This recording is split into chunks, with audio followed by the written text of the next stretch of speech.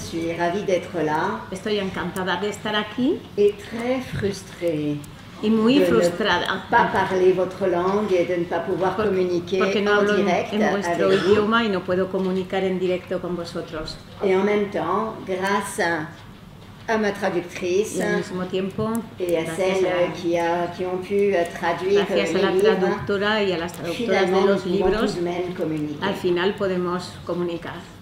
Donc je vais moi enlever mon micro parce que Entonces pas voy a- utile ce sera plus confortable. Voy a quitar el micrófono porque será más eh, cómodo para vosotros y para la traductora, Voilà, mais je voulais juste entendre la voix. pero quería, en fin, hacer esta introducción así y oír la Alors, voz.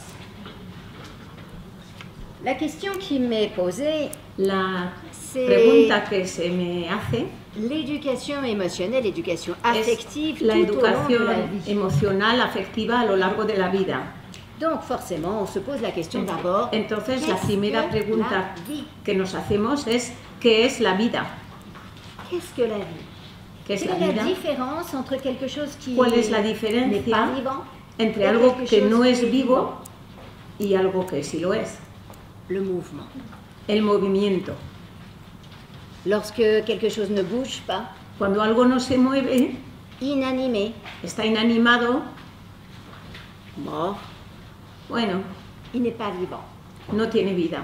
En revanche, dans la vie, il y a toujours En cambio, en la vida siempre hay movimiento. un mouvement plus ou moins rapide. Un movimiento más o menos rápido. Donc, la vie, Entonces, la vida es movimiento. Maintenant, comment savons-nous, nous, que nous sommes vivants Ahora, ¿cómo sabemos nosotros que estamos vivos? Et il a été dit, je pense donc je suis. Se ha dicho, pienso, luego existo. En réalité, nous sentons que nous sommes En realidad, sentimos estamos vivos, lo sentimos. Sentimos que estamos vivos porque algo se mueve dentro de nosotros. Nos sentimos vivos porque hay movimiento en el interior de nuestro cuerpo. Le mouvement de notre respiration, El movimiento de nuestra respiración, la pression sanguine, la presión sanguínea, les sensations que nous éprouvons dans nos muscles. las sensaciones que sentimos en los músculos cuando nos movemos. En tout cas, notre conscience d'être vivant En todo vient caso, de nos sensations. Nuestra conciencia de estar vivos viene de nuestras sensaciones et de nos émotions.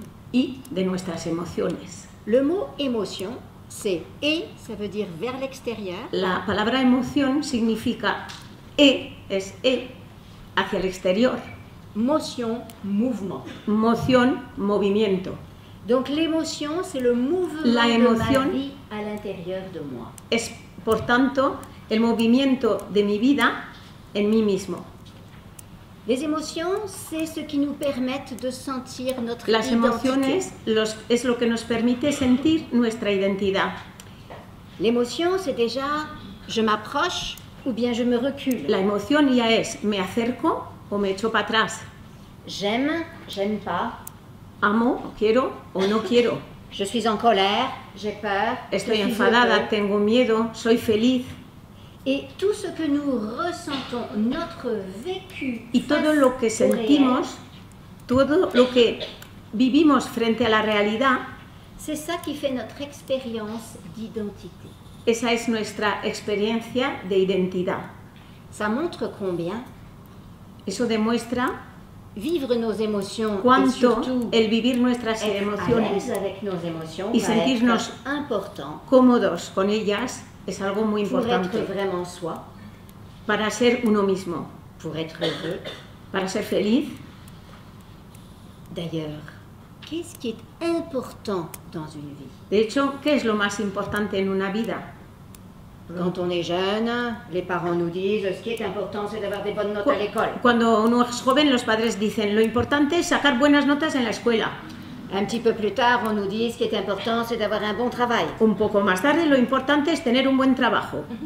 Bref, on nous dit que ce qui est important, c'est de se conformer aux En fin, nos dicen sociales. que lo importante es conformarnos a las exigencias de la sociedad. Mais quand on approche de la mort, Pero cuando uno se acerca a la muerte, quand euh, on devient vieux, cuando nos hacemos viejos, mayores, on se dit vraiment que ça n'avait aucune importance. pensamos que todo esto no tiene ninguna importancia. La seule chose qui soit vraiment importante à l'heure de quitter cette terre, Lo único que realmente importa a la hora de dejar este mundo c'est comment est-ce que j'ai vécu, comment est-ce que j'ai Es- aimé. cómo he vivido, cómo he amado. Donc ce qui est le plus important dans la vie, ce sont nos émotions, Entonces lo más importante en la vida son las emociones, nuestras emociones, nos relations avec les autres. nuestras relaciones con los demás, C'est la quantité de joie et la quantité d'amour. la que nous cantidad de alegría y la cantidad de amor que hemos podido expresar. La vie est changement, la vie est mouvement La vida es cambio, la vida es movimiento et l'humain est une machine à s'adapter. y el ser humano es una máquina de adaptación. Nous sommes vivants Estamos vivos et en interaction avec euh, le monde en, extérieur, en interacción con el mundo exterior nous nous construisons nos construimos et nous avons sans arrêt à nous adapter. y siempre tenemos que adaptarnos. Notre cerveau, surtout, Nuestro cerebro, sobre todo, est une machine à s'adapter. es una máquina de adaptación, que se adapta. La réaction d'adaptation à toute stimulation La reacción de adaptación a cualquier estímulo se nomme le stress. se llama el estrés. Trop souvent, on pense que le stress, c'est le bruit, Demasiado a menudo pensamos que el estrés pues, es el ruido, un etc. accidente, problemas, etc.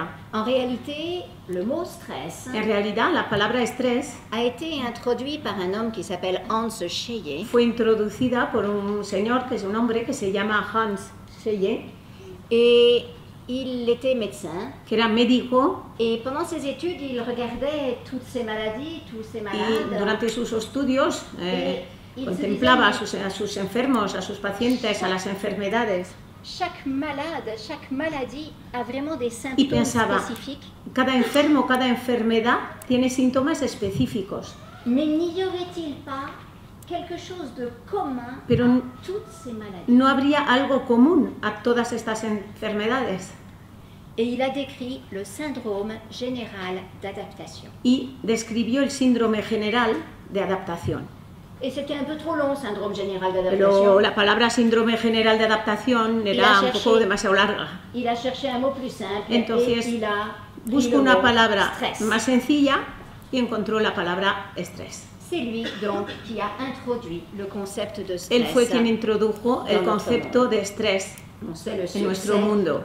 qu'a eu ce mot. Ya sabemos el éxito que ha tenido esta palabra.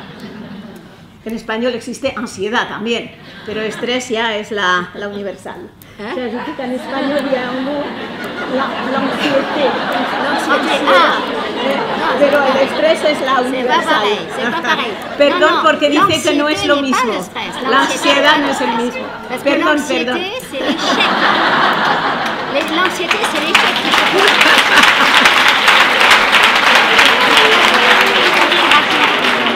Ça y est, ça y est, non ça, ça les a amusés.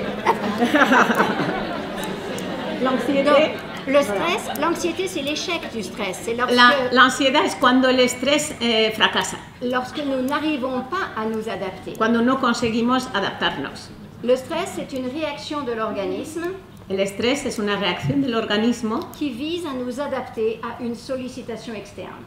que intenta, que quiere adaptarnos a una situación externa. Et c'est une sollicitation non spécifique. Y es una eh, solicitación no específica. C'est-à-dire que ça va être la même quantité de stress pour un mariage ou Va- pour un enterrement. Vamos a tener la misma cantidad de estrés para una boda que para un funeral. C'est le, le fonctionnement, c'est une adaptation du corps. El funcionamiento es une una adaptación del cuerpo y tenemos que adaptarnos a una nueva realidad. Donc la réaction de stress est une réaction d'adaptation. La reacción de estrés es una reacción de adaptación. Lorsque nous disons dans le langage courant que nous sommes stressés, Cuando decimos en el lenguaje habitual ¿no? que estamos estresados, c'est que en fait nous sommes nous n'arrivons pas à nous adapter et nous sommes en tension es porque no conseguimos adaptarnos y estamos en un estado de tensión adapta- adaptativa y después en un estado de agotamiento. Mais la réaction de stress, Pero le la seul endroit où on ne le ressentira plus, c'est bien sûr mort au cimetière. Pero el, el único sitio donde no sentiremos la reacción de estrés será en el cementerio. Donc le stress, c'est important. Porque el estrés- utile. Entonces el estrés es importante, es útil y es fundamental. Par contre, nous avons à le gérer correctement, En cambio, lo que tenemos que hacer es gestionarlo correctamente, réussir à nous adapter, conseguir la adaptación, parce que sinon la réaction de stress c'est trois en trois étapes. porque si no, la reacción de estrés es en tres etapas. Alar- alerte dans l'organisme, alarme. Aviso, alarma para el organismo, On, est, on reste en tension, luego estamos en tensión puis il y a l'épuisement. y luego llega el agotamiento. Donc, euh, bien sûr, nous avons à réussir à nous adapter Entonces, por supuesto, sans arriver à l'épuisement. Tenemos que lograr la adaptación sin llegar al agotamiento. L'émotion, c'est une réaction d'adaptation à une sollicitation spécifique. La emoción es una reacción de adaptación a una solicitación específica. Le stress, c'est une réponse non spécifique. El estrés es una respuesta no específica, L'émotion, c'est une réponse spécifique. la emoción es una respuesta específica. C'est-à-dire, dans le monde, il y a quelque chose qui se passe. Es decir, en el mundo ocurre algo. Ça nécessite que je m'adapte. Eso necesita que yo me adapte. Donc, réaction de stress dans mon organisme. Por tanto, hay una reacción de estrés en mi organismo. Ensuite, ce qui se passe devant, soit c'est un danger, Lo que ocurre, bien es un peligro, c'est un danger, alors j'éprouve de la peur. es un peligro, entonces lo que siento es miedo. C'est un- quelque chose qu'on m'annonce une- un succès, alors j'éprouve de la joie. Me dicen que hay- tengo un éxito en algo, siento felicidad, alegría. Donc, euh, le stress, c'est l'adaptation. Entonces el estrés No es específica. ada- adaptación no específica, Il est là tout le temps. siempre está ahí. En revanche, l'émotion, elle En est cambio, spécifique la emoción en es fonction de ce qui se passe. en función de lo que ocurre. Et donc, euh, toute notre existence, nous avons Y à entonces, gérer durante toda cette nuestra adaptation. existencia tenemos que gestionar esta adaptación. Et le problème, c'est que donc ce qui génère le stress ou ce qui génère notre, nos El problema es lo que, lo que genera el estrés o lo que genera nuestras emociones notre cerveau. es nuestro cerebro. Notre cerveau est une pure merveille. Nuestro cerebro es una pura maravilla, Mais justement, elle est, c'est une machine extrêmement puissante. pero por ello es una máquina extremadamente potente. Ça ressemble à une voiture de course. Se parece a un coche de carrera, un Porsche. Et nous, on conduit ça comme une 4L ou une 2 chevaux. Y, no, y nosotros la conducimos como si fuera un dos caballos. On n'a jamais appris à conduire notre cerveau. Nunca nos han enseñado a conducir nuestro cerebro. Alors souvent, nous sommes les otages de nos réactions. Y a menudo somos los rehenes de nuestras reacciones. Nous ne comprenons pas pourquoi nous nous mettons en colère, pourquoi nous No avons entendemos peur, por qué nos enfadamos, por qué tenemos miedo, pourquoi est-ce que j'ai terriblement peur de monter dans un ascenseur, por qué tengo tanto miedo a subirme a un ascensor, pourquoi j'ai peur de l'avion, por qué me da miedo el avión, irrationnel, Es pourquoi j'ai peur du irracional. patron, por qué le tengo miedo al jefe, pourquoi est-ce que je me mets en colère comme ça alors que mon enfant euh, refuse por de qué manger. me, me enfado tanto solo porque mi hijo no quiere comer. Nous avons des réactions souvent A disproportionnées menudo tenemos reacciones desproporcionadas parce que nous ne savons pas utiliser notre cerveau correctement. porque no sabemos utilizar correctamente nuestro cerebro.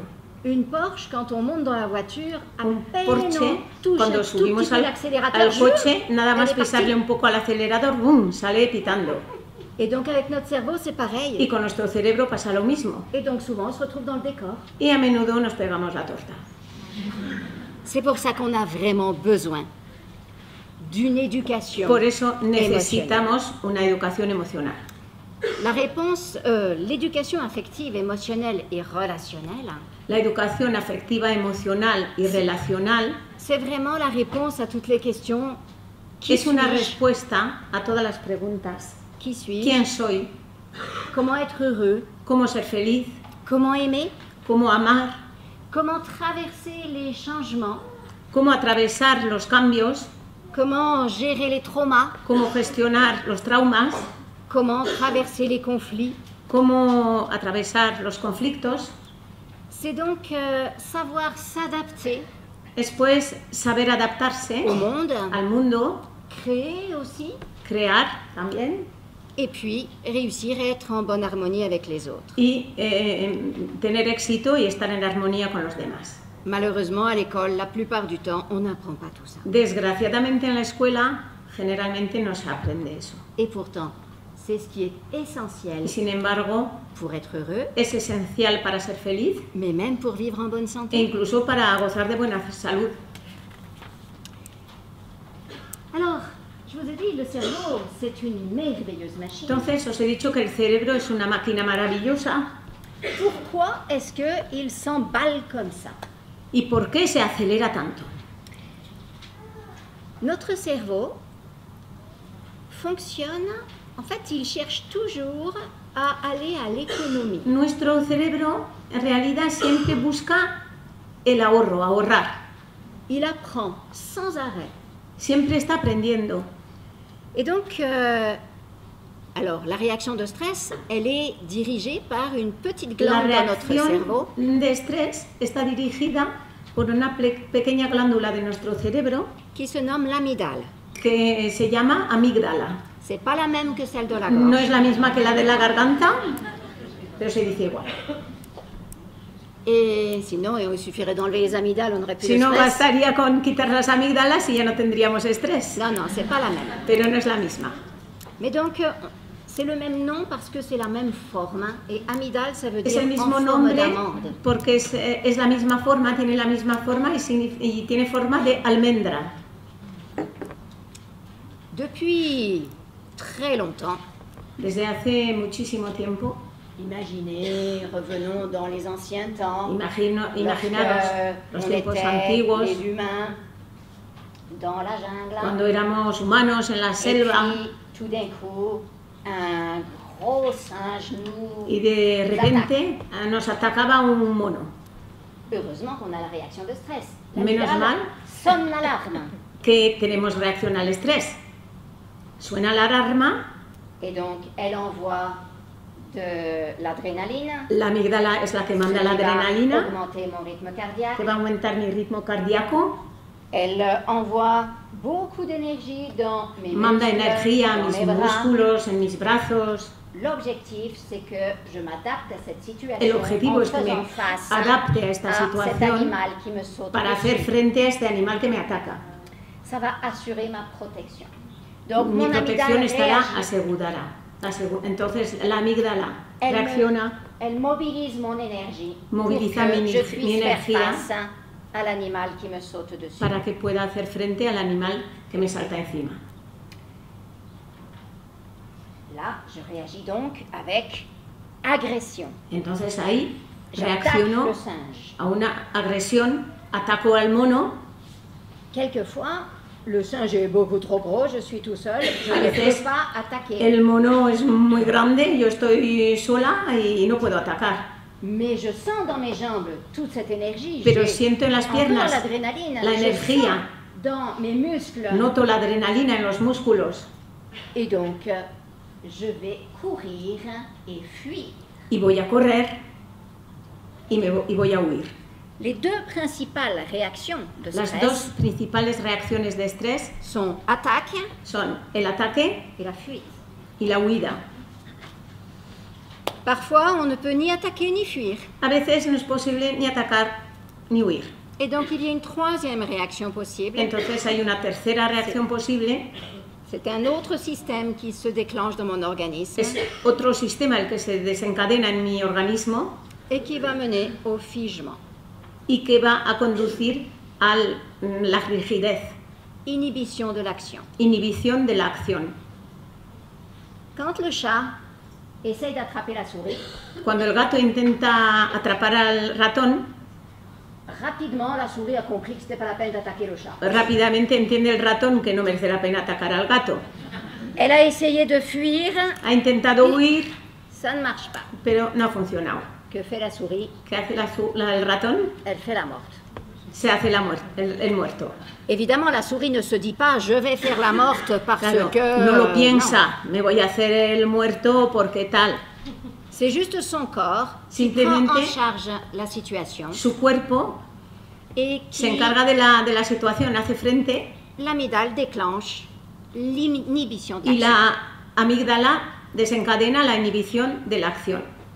Et donc on se retrouve, la souris se retrouve figée Y entonces la- el ratón se encuentra et la rígido nature est très bien faite y la naturaleza es muy sabia parce qu'à ce moment-là, le cerveau envoie porque en ese momento hormones el cerebro manda hormonas qui permettent à la souris de ne rien sentir. que hacen que el ratón no sienta nada. Des antidouleurs. Son como antidolor. Et donc la souris n'a pas mal quand elle est croquée par Y entonces cuando el gato se come al ratón, al ratón no le duele. Ces réactions de stress sont extrêmement utiles. Esas reacciones de estrés son pues muy útiles. La seule chose, c'est que aujourd'hui, il n'y a plus tellement de grands singes ou de Lo que tigres pasa que hoy en día no hay tantos monos grandes y tigres que nos ataquen, Mais on continue à réagir pareil. pero seguimos reaccionando igual. Et donc, euh, notre enfant ne veut pas manger sa Por soupe. tanto, si nuestro hijo no quiere Et comerse on se met à attaquer. el potaje, pues atacamos. Ou alors on fuit. J'en peux O plus. si no huimos, ya no puedo más. Parfois, dans un supermarché, A veces en un supermercado un enfant fait une crise de colère. un niño tiene Enfin, una rabieta. Ça n'est pas une crise de colère, c'est une crise de stress. Mais bon, Es una crisis de estrés, pero digamos que es una crisis, una rabieta. La maman se cache dans un autre rayon. La mamá se esconde en otra sección. Et immédiatement, l'enfant s'arrête. Inmediatamente el niño se calla. Donc la mère se dit, ah, ah, c'était de la comédie. La madre piensa, "Ja, puro teatro, Pas du tout. pero para nada. Il fait la. Lo que hace es de ratón muerto. En fait, c'est que l'enfant à ce moment-là, El niño en ese momento c'est encore un mammifère. sigue siendo un mamífero. Il était dans un supermarché et donc c'est très stressant pour un cerveau d'enfant. Y para un- el cerebro de un niño es muy estresante estar en un supermercado. Donc il a une tempête dans Entonces son cerveau, hay una tempestad en su cerebro, des- de l'électricité partout. electricidad por todas partes. C'est vraiment, quand tu as des crises comme ça, c'est une tempête électrique. Cuando hay un- una rabieta así, lo que se- ocurre es una verdadera tempestad eléctrica en su cerebro. Et donc, euh, cette, euh, cette crise, il la vit quand sa mère est là, présente. Esa crisis la vive estando su madre presente. La figure d'attachement est là. La figura de apego. C'est un mammifère. Et donc, dès que, Es un mamífero, entonces, donc, dès que la mère, la figure d'attachement en disparaît, cuanto desaparece la figura de la madre, de apego, le cerveau immédiatement El cerebro tout mouvement et insensibilise. inmediatamente pues para el movimiento y insensibiliza al niño. Parce que ça signifie danger. porque eso significa peligro. Vous avez des petits lions qui jouent ensemble, des petits Tené- pinceaux. tenéis león, leoncitos como se, bruit, que están jugando, que meten ruido. Dès que leur mère disparaît, ils s'arrêtent En cuanto desaparece la madre, dejan de jugar, ya no se mueven.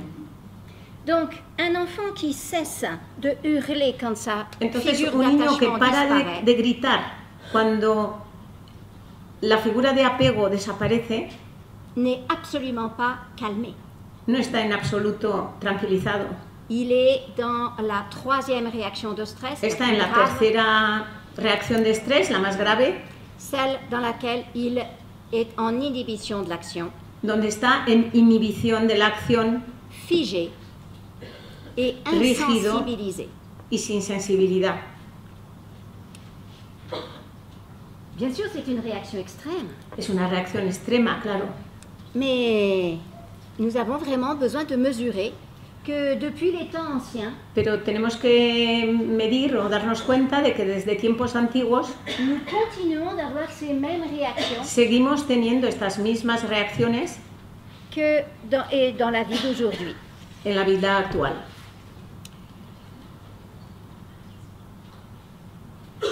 Le stress, attaque, fuite, El figement. estrés ataca, huye, se paraliza.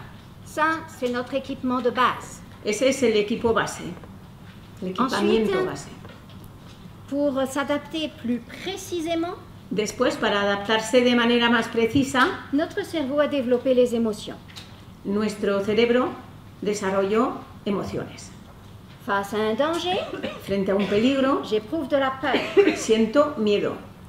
Face à une injustice, Frente a una, una injusticia, face à une blessure, Frente a una de herida.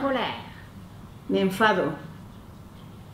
Face à un événement heureux, face Frente a un acontecimiento de feliz. joie. Frente a un éxito, siento alegría. Face au deuil, à la perte, j'éprouve de la Frente tristesse. al duelo, a la pérdida, siento tristeza. Lorsque on me force à prendre quelque chose à l'intérieur de moi qui ne m'appartient pas, Cuando me obligan a coger algo en mi interior que no me pertenece, que ce soit que l'on m'oblige à Sea porque- à des valeurs qui ne sont pas les miennes, se me obliga a compartir unos valores que no son los mismos, que ce soit un viol, que sea un- una violación, on éprouve du dégoût. lo que se siente es asco. Lorsque nous sommes rejetés, Cuando somos rechazados, lorsqu'il y a un secret, cuando hay un secreto, nous éprouvons de la honte. sentimos vergüenza. Les émotions que nous éprouvons peuvent nous Las permettre emociones de que, mieux, senti- que sentimos pueden permitirnos de mieux nous adapter. adaptarnos mejor. Et juste derrière l'amygdale, il y a une autre structure qui s'appelle l'hippocampe. Hay otra estructura que se llama hipocampo Et l'hippocampe mémorise. Y el hipocampo memoriza. Donc, si un jour Entonces, il m'arrive quelque chose, si un día me ocurre algo, par exemple mon père qui a des grosses lunettes hein, por ejemplo, mi et padre une que lleva unas mm, me gafas crie dessus très très fort et me barba, me grita y me asusta, l'ami- euh, déclenche le stress. La amígdala desencadena el estrés. Et la peur miedo et l'hippocampe enregistre. y el hipocampo memoriza, graba. Comme notre cerveau cherche à optimiser ses Como réactions, nuestro cerebro intenta optimizar il sus va reacciones, généraliser. va a generalizar Et à partir de là, probablement, y a partir de ahí, dès qu'il y aura quelqu'un avec des grosses lunettes probablemente cada vez barbe, que haya alguien delante con gafas grandes y barba, le cerveau va déclencher la réaction el de cerebro de desencadenará la reacción de estrés peur et de peur. y de miedo. Et c'est comme ça qu'on décl- qu'on développe des réactions émotionnelles parasites qu'on va appeler Y así es como a veces se desencadenan reacciones emocionales parásitas, parásitos, eh, que vamos a llamar elásticas. Un élastique, c'est-à-dire je réagis aujourd'hui Una goma, eh, elástica es una goma. eh. avec, euh, je vois quelqu'un, un patron, Hoy, por ejemplo, reacciono que hoy veo a un jefe con gafas grandes. J'ai complètement oublié que mon père... euh, Se me ha etc. olvidado completamente que mi padre je vois- era así. Je vois mon patron avec des grosses lunettes, une barbe, Pero veo a mi jefe con las gafas grandes y la barba et immédiatement, e inmediatamente mon hippocampe mi hipocampo me ramène dans mon histoire me vuelve atrás hacia mi propia historia déclencher la peur que iba a desencadenar devant mon père. el miedo que yo tenía entonces hacia mi padre.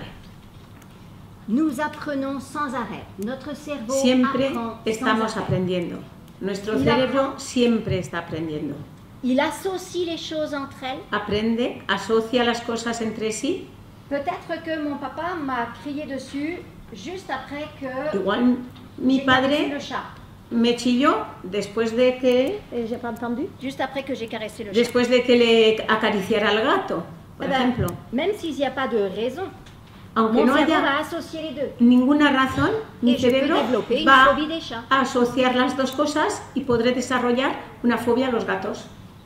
Le, ce- le cerveau systématiquement Es decir, cherche du sens, El cerebro sistemáticamente busca eh, un sentido, tous les éléments perçoit asocia todos los elementos que percibe et ensuite généralise. y luego generaliza. Tout ça pour optimiser Todo eso para optimizar nos réactions face nuestras, au monde. nuestras reacciones frente al mundo. Imaginons une petite fille. Imaginemos una niña, Elle euh, est très fâchée está muy enfadada parce que son frère lui a pris sa poupée porque su hermano le ha cogido su muñeca les yeux de la poupée. y arranca los ojos de la muñeca. Alors la petite fille est furieuse. Entonces la niña está furiosa, Maman arrive. llega mamá, Elle voit ça. Elle gronde la petite lo fille. ve y riña a la niña. Tu n'as pas à te mettre en colère comme ça. No te tienes que enfadar así. Petite fille. La niña, La fois suivante, quand son frère lui pique sa poupée. siguiente, cuando su hermano le quita la muñeca, Bon, la colère, ça marche pas. Donc, ha visto que la ira no funciona, entonces, bueno, voy a llorar. Évidemment, là, je vous fais en sketch. C'est pas comme ça que ça se passe. y lo hago como un sketch. No ocurre exactamente así. En réalité, l'enfant devrait se mettre en colère. En realidad el niño se tendría Et que donc, elle enfadar. commence à se mettre en colère. Mais Entonces son empieza hippocampe, a enfadarse. son hippocampe, son hippocampe lui dit Attention, stop, Pero c'est su toi qui vas te hipocampo faire gronder. dice, stop, Donc, para, ya- te van a reñir. Donc, il y a la peur en même temps. Entonces el miedo también está ahí. Et donc, du coup, la petite fille éclate en sanglots. Y entonces El la niña empieza a llorar. Maman arrive. Llega mamá. Oh, ma pauvre petite fille chérie. Ay, cariño mío. Oh, vilain frère. Ay, qué malo tu hermano. Et du coup, le cerveau apprend Y entonces el que cerebro si je pleure, ma maman s'occupe de moi aprende, si lloro, mamá se ocupa de mí et me défend. y me defiende. Et si je suis en colère, Y si me enfado, même si c'est juste, aunque sea justo, eh bien, je me fais gronder. Me riñe. Et donc, 30 ans plus tard, Y entonces, 30 años más tarde, lorsque on est dans le bureau du directeur cuando estamos en el despacho del director et on est venu parce qu'il y a eu une injustice, y hemos ido porque ha ocurrido una injusticia para con nosotros, au lieu d'exprim- d'exprimer sainement notre colère en vez de expresar mm, sinceramente nuestro enfado et d'énoncer fermement les y denunciar mm, con firmeza et faire une demande y claire, hacer una demanda y expresar claramente lo que pasa, on se met à pleurer. empezamos a llorar. Seulement, ce qui marche avec maman ne marche pas avec Pero lo que funciona con mamá, con el director no funciona.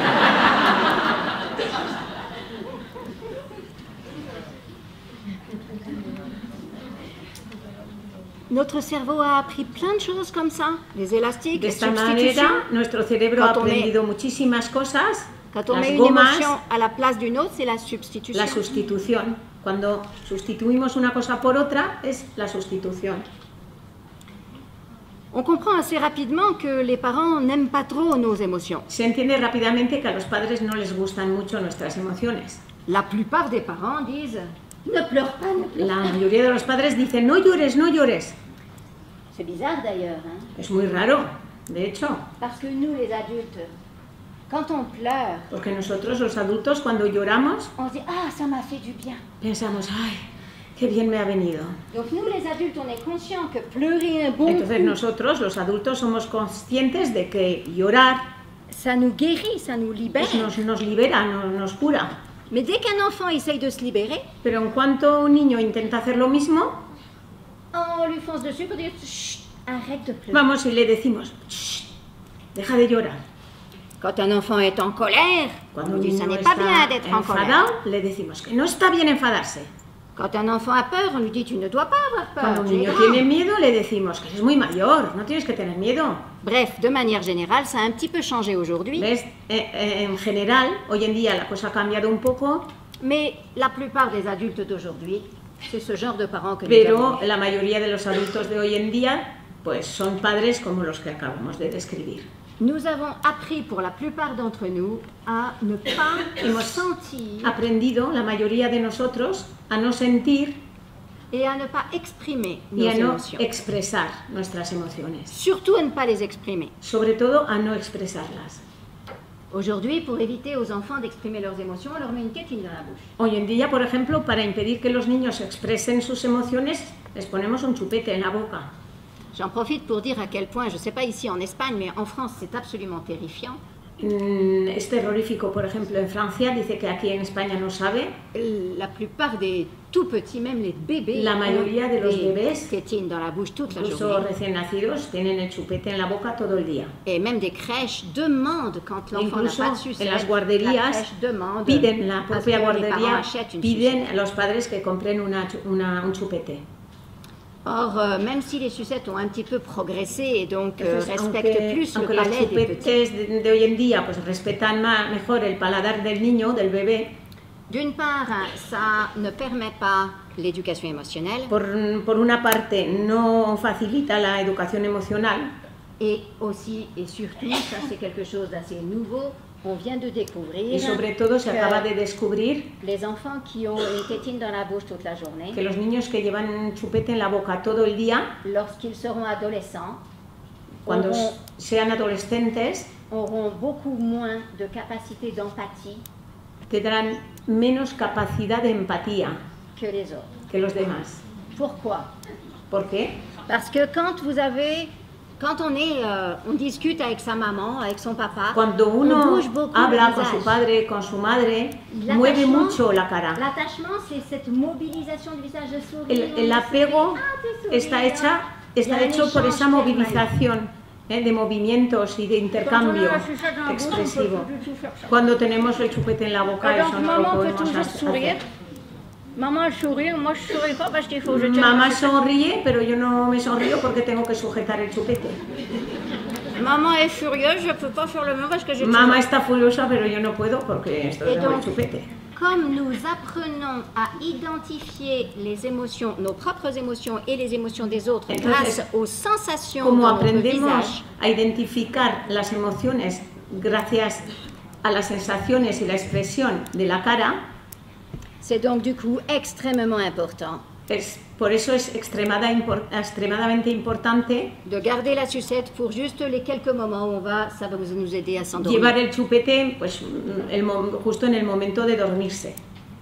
Mais l'éviter au maximum dans la Pero journée hay que evitarlo al máximo durante el día, pour permettre à l'enfant de mobiliser. para que el niño pueda mover y movilizar. C'est pas seulement que ça empêche de parler, ça risque aussi d'empêcher la conscience. No solamente eh, impide el, el habla, el hablar, sino también la conciencia.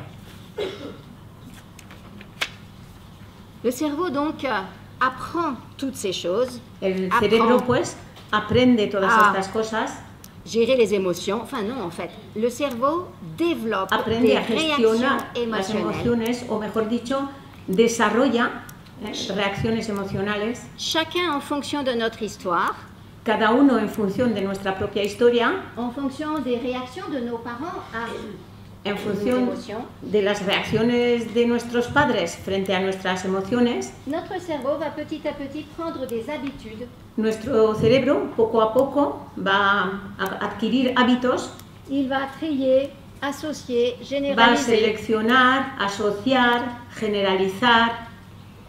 Et du coup, finalement, on en vient à vivre dans un monde y por tanto al final acabamos viviendo en un mundo que nous construisons.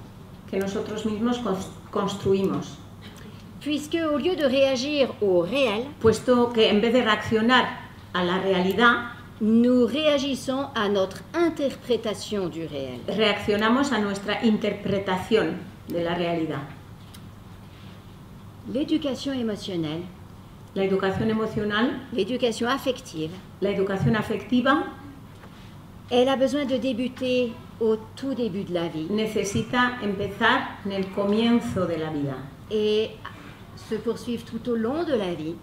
Proseguir a lo largo de la vida Et elle va consister surtout y consistirá sobre todo à revenir à la nature. el envolver a, la- a lo natural, a la naturaleza, À revenir à des réactions plus appropriées aux situations envolver a reacciones más adaptadas a las situaciones et donc à décoder lorsque nous sommes prisonniers d'élastique a identificar cuando estamos o somos prisioneros de las gomas de substitution de sustitución ou de collection de timbres o de colección de sellos ou de phobie. o de fobias. Nous avons à apprendre à conduire notre Porsche. Tenemos que aprender a conducir el Porsche. La première chose que nous avons à apprendre, c'est écouter nos cosa que sensations. tenemos que aprender es escuchar nuestras sensaciones, Parce que c'est dans nos sensations porque Que- nuestras sensaciones nous trouvons d'une part ce sentiment d'être vivant, encontramos primero este sentimiento de estar vivos, notre identité, nuestra identidad et nos sensations ne nous trompent pas. Y nuestras sensaciones no nos engañan. Si j'éprouve une grande accélération cardiaque, Si yo siento una aceleración del corazón, c'est probablement que là, j'ai, je vis du stress et que j'ai será à probablemente m'adapter porque à une ahí situation. siento estrés y tengo que adaptarme a una situación. Si face à une situation, je sens dans mon ventre Si que frente a una situación c'est comme s'il y avait un nœud dans mon ventre, noto que tengo como un nudo en la tripa, probablement j'éprouve de la peur. será porque siento miedo. C'est tout simple, mais pour beaucoup d'entre nous, comme Es- nous n'avons pas appris, Es muy sencillo, pero para muchos de nosotros, como no hemos aprendido, souvent nous ne savons même pas si nous avons peur ou si nous sommes en colère. a, a menudo ni siquiera sabemos si tenemos miedo o si estamos enfadados.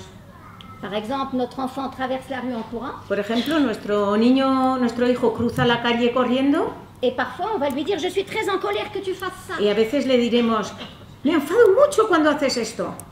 Évidemment, on n'est pas en colère, on a eu peur. En realidad no nos hemos enfadado, hemos sentido miedo. Et donc c'est vraiment important de revenir en contact avec le réel. Entonces es importante volver a ¿Qué estar en contacto con lo real, con la realidad. Quel est le déclencheur ¿Cuál es el desencadenante? Et puis, euh, qu'est-ce que je ressens ¿Y qué es lo que siento? La conscience des sensations va nous La aider conciencia de las sensaciones nos no. ayudará à ne pas passer à l'acte immédiatement. a no pasar a la acción inmediatamente, Parce qu'on se souvient qu'on a encore ce système émotionnel porque nos acordamos que todavía tenemos este sistema emocional tellement sensible et rapide tan sensible y rápido que nous avons tendance à imaginer que tous les patrons, tous les gens qui nous que tendemos a impressionnent imaginar que todos los jefes, que toda la gente que nos impresiona es como aquel mono que nos atacó. Nous avons ces réactions encore aujourd'hui Hoy en día archaïques. todavía tenemos estas reacciones arcaicas Et puis surtout, nous avons notre histoire. y sobre todo tenemos nuestra historia. Et je crois que la plupart d'entre vous travaillez ou êtes parents dans la petite enfance. eso la creo que la mayoría de vosotros trabajáis o sois padres de niños pequeños. Ce que nos réactions face à nos enfants Lo que nuestras reacciones frente a, a los niños sont rarement des réactions réfléchies. rara vez son reacciones reflexivas. Le plus souvent, ce sont des réactions automatiques, La mayoría de las veces son reacciones automáticas, des automatismes qui viennent de notre propre. automatismos que vienen de nuestra propia infancia. Dans une euh, expérience, les neuroscientifiques En una experiencia, los neurocientíficos ont proposé à des parents propusieron De a unos regarder padres un enfant qui pleure que ou un enfant qui tend les bras miren a un niño que está llorando o a un niño que tiende los brazos para pedir una carantoña. Dans le cerveau, on regarde ce qui se passe dans le En cerveau cerebro, du parent avec un IRM. Se mira con una resonancia magnética qué está ocurriendo en el cerebro del padre. Et on voit à ce moment-là que tout le cerveau est baigné d'ocytocine. Y vemos que el cerebro está bañado en oxitocina. L'ocytocine, c'est l'hormone de l'amour, La oxitocina es la hormona del amor, qui fait qu'on se sent bien, la hormona que hace que nos sintamos bien, l'hormone qui tisse le lien. La hormona que teje el hilo. Et les zones dans le cerveau, je prends soin de, s'activent. Y las mm, zonas en el cerebro que dicen tengo que cuidar a se activan. Nous sommes construits pour naturellement Estamos savoir construidos para nous saber occuper de nos naturalmente enfants, cuidar a nuestros niños, répondre à leurs besoins. responder a sus necesidades. Pero los científicos fueron, se sorprendieron mucho al ver que no era el caso en toda la gente. Seuls les parents qui, lorsqu'ils étaient enfants, Solamente los padres que de pequeños recibieron afección a los que se les escuchaba de pequeños, reaccion- reaccionaban con la oxitocina. Les parents qui, lorsqu'ils étaient enfants, avaient été rejetés, Los padres que cuando eran pequeños habían sido rechazados, humillados, pegados, rechazaban de una manera u otra, cuando estaban frente a un niño que lloraba ou même quand ils étaient face à un enfant qui tend les bras pour demander un câlin, o incluso frente a un niño que tendía los brazos dans leur cerveau, pas d'ocytocine. para un cariño, en su cerebro no había oxitocina. Les blessures dans l'enfance diminuent le nombre de Las heridas en la infancia disminuyen el número de reacción a la oxitocina. Les zones de je prends soin d'eux ne s'activent pas. Las zonas de cuido a no se activan. La détection de l'émotion de l'autre ne s'active La detección de, dete- la detección de otro no se activa. Donc toutes les zones de l'empathie ne s'activent pas. Entonces, todas las zonas de la empatía no se activan todas. Parce qu'une autre zone s'active et a le- la priorité. Porque se activa otra zona y esa zona tiene prioridad. J'imagine que vous avez deviné, il s'agit du circuit du stress. Es, lo habréis adivinado, el circuito del estrés. Et donc, puisque enfant, lorsque, euh, si quand j'étais enfant, Puesto et que que j'avais une émotion, de niño, j'ai été rejetée, cuando de niño tuve una emoción y fui rechazado, si je me suis sentie pas aimée par mon parent, si no me sentí amado por mis padres, Lorsque je suis face à une euh, proposition de- d'intimité avec mon enfant, cuando estoy frente a una proposición, a una propuesta de intimidad con mi hijo, ça déclenche la réaction de stress. eso desencadena la reacción de estrés. Parce que j'ai appris que je pouvais être rejetée par quelqu'un que Porque yo aprendí que podía ser rechazado por alguien a quien yo quería. Et même si c'est mon enfant, Incluso si se trata de mi hijo, je vais réagir comme si c'était mon parent. voy a reaccionar como si fuera mi padre. Et donc du coup, j'ai trois réactions possibles Y entonces sous stress. tengo Le tres stress reacciones va a hacer posibles ataque. bajo estrés. El estrés va a hacer el ataque, Et c'est pour ça qu'on va dire à l'enfant arrête de pleurer por eso le voy a decir al niño, deja de llorar, ou qu'on va donner une gifle. hein. o le voy a dar una bofetada, On attaque. Ou alors, j'en peux plus. O si no, estoy agotado, ya no puedo más, huyo. Ou alors on reste comme ça tout figé. O si no, me quedo paralizado. Notre cerveau a appris petit Nuestro cerebro, cerebro aprendió de pequeño. Et du coup, ben, nous faisons avec ce que notre y cerveau entonces pues tenemos que conformarnos o, a- o actuamos según lo que nuestro cerebro Ces nouvelles informations que nous donne les neuroscientifiques sur ce qui se passe dans notre Estas cerveau. nuevas informaciones que nos dan los neurocientíficos sobre lo que ocurre en nuestro cerebro nous permettent deux choses très importantes.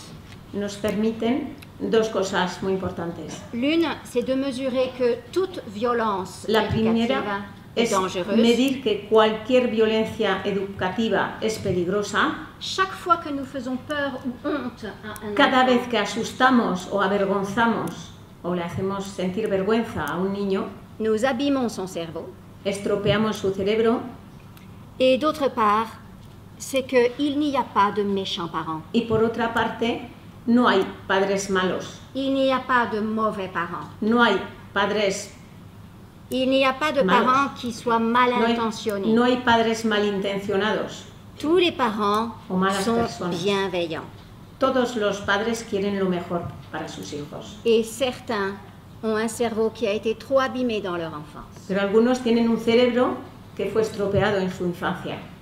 Et donc ça peut nous aider à sortir complètement du jugement. Eso nos puede ayudar a salir del juicio. C'est très important pour tout le monde et surtout pour les professionnels. Es muy importante para todos y sobre todo para los profesionales, Parce que c'est seulement en ôtant le jugement qu'on pourrait porter sur les parents violents porque es eh, extrayendo y excluyendo el juicio que podríamos tener sobre los padres, que nous pouvons avoir des possibilités d'aider ces parents cómo podremos coup, ayudar a estos padres de supprimer y la por tanto suprimir la violencia educativa.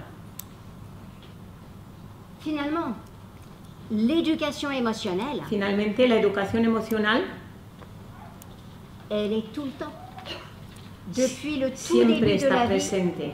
Desde el principio de la vida, nos parents nous enseignent. nos padres, nuestros padres nos enseñan. L'ennui, c'est que quand on l'enseigne comme ça de manière inconsciente, El problema es que cuando se enseña de manera inconsciente, on enseigne surtout la violence, se enseña sobre todo la violencia, la peur, el miedo, la honte, la vergüenza, toutes sortes de choses dont on n'a vraiment pas besoin. toda clase de cosas que no necesitamos.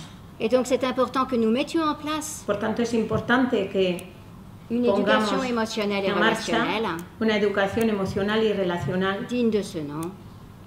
Que, Une se- que merezca ser llamada así. Une éducation qui aide les enfants, Una educación que ayuda a los niños, qui aide le cerveau des enfants à que grandir, ayuda al cerebro de los niños a crecer, qui aide les enfants à sentir ce qu'ils sentent. Que los ayuda a sentir lo que sienten, et les aider à mettre des mots sur euh, leurs émotions. Que los ayuda a poner una palabra, a dar una un nombre a sus emociones, identifier les déclencheurs, les causes des émotions identificar los desencadenantes, las causas de las emociones et bien sûr leur enseigner à calmer les réactions de y por stress supuesto enseñarles a tranquilizar las reacciones de estrés et leur apprendre à conduire cette Porsche. y a conducir el Porsche.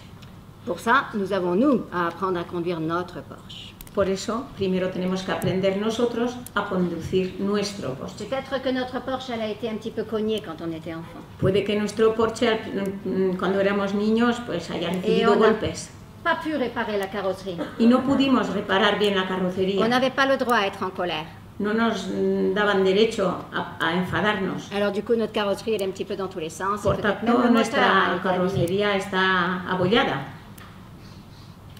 La bonne nouvelle, c'est que le cerveau s'auto-répare beaucoup La buena noticia es, el que, cereb- es que el cerebro se parce qu'en réalité, on a un cerveau vivant tandis qu'une porque voiture c'est tenemos juste une un machine cerebro morte. vivo, mientras que un coche es una máquina muerta, inanimada.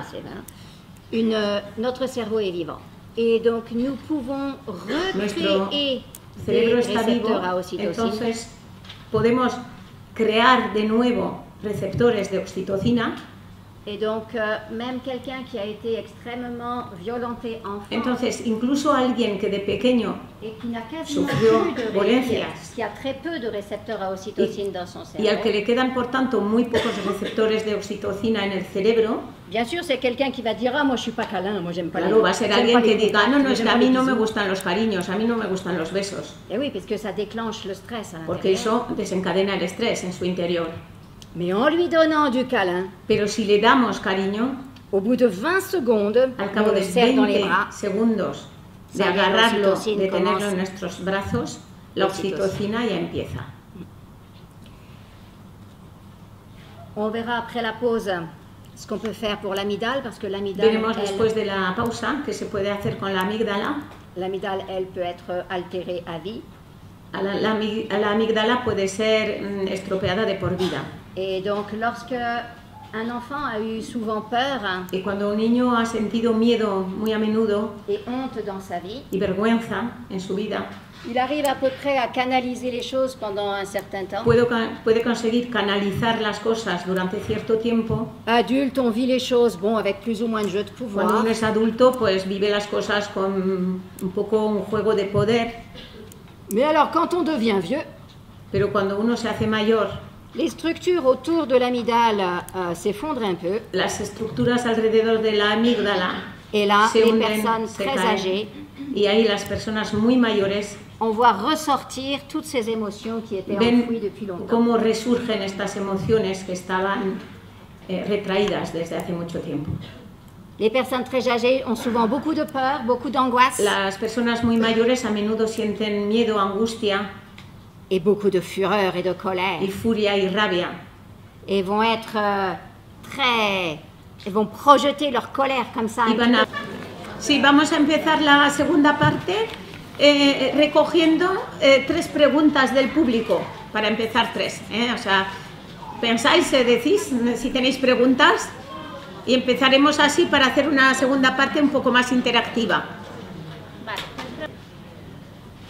J'aime bien l'idée d'une chercher des alternatives à la punition. Me gusta la idea de buscar alternativas al castigo, Vous avez bien compris qu'une punition ne peut que abîmer le cerveau d'un porque enfant. habéis eh, entendido que un castigo solo puede estropear el cerebro de un niño. Et évidemment, on le sait tous, c'est inefficace. Y por supuesto, lo sabemos todos, no sirve para nada.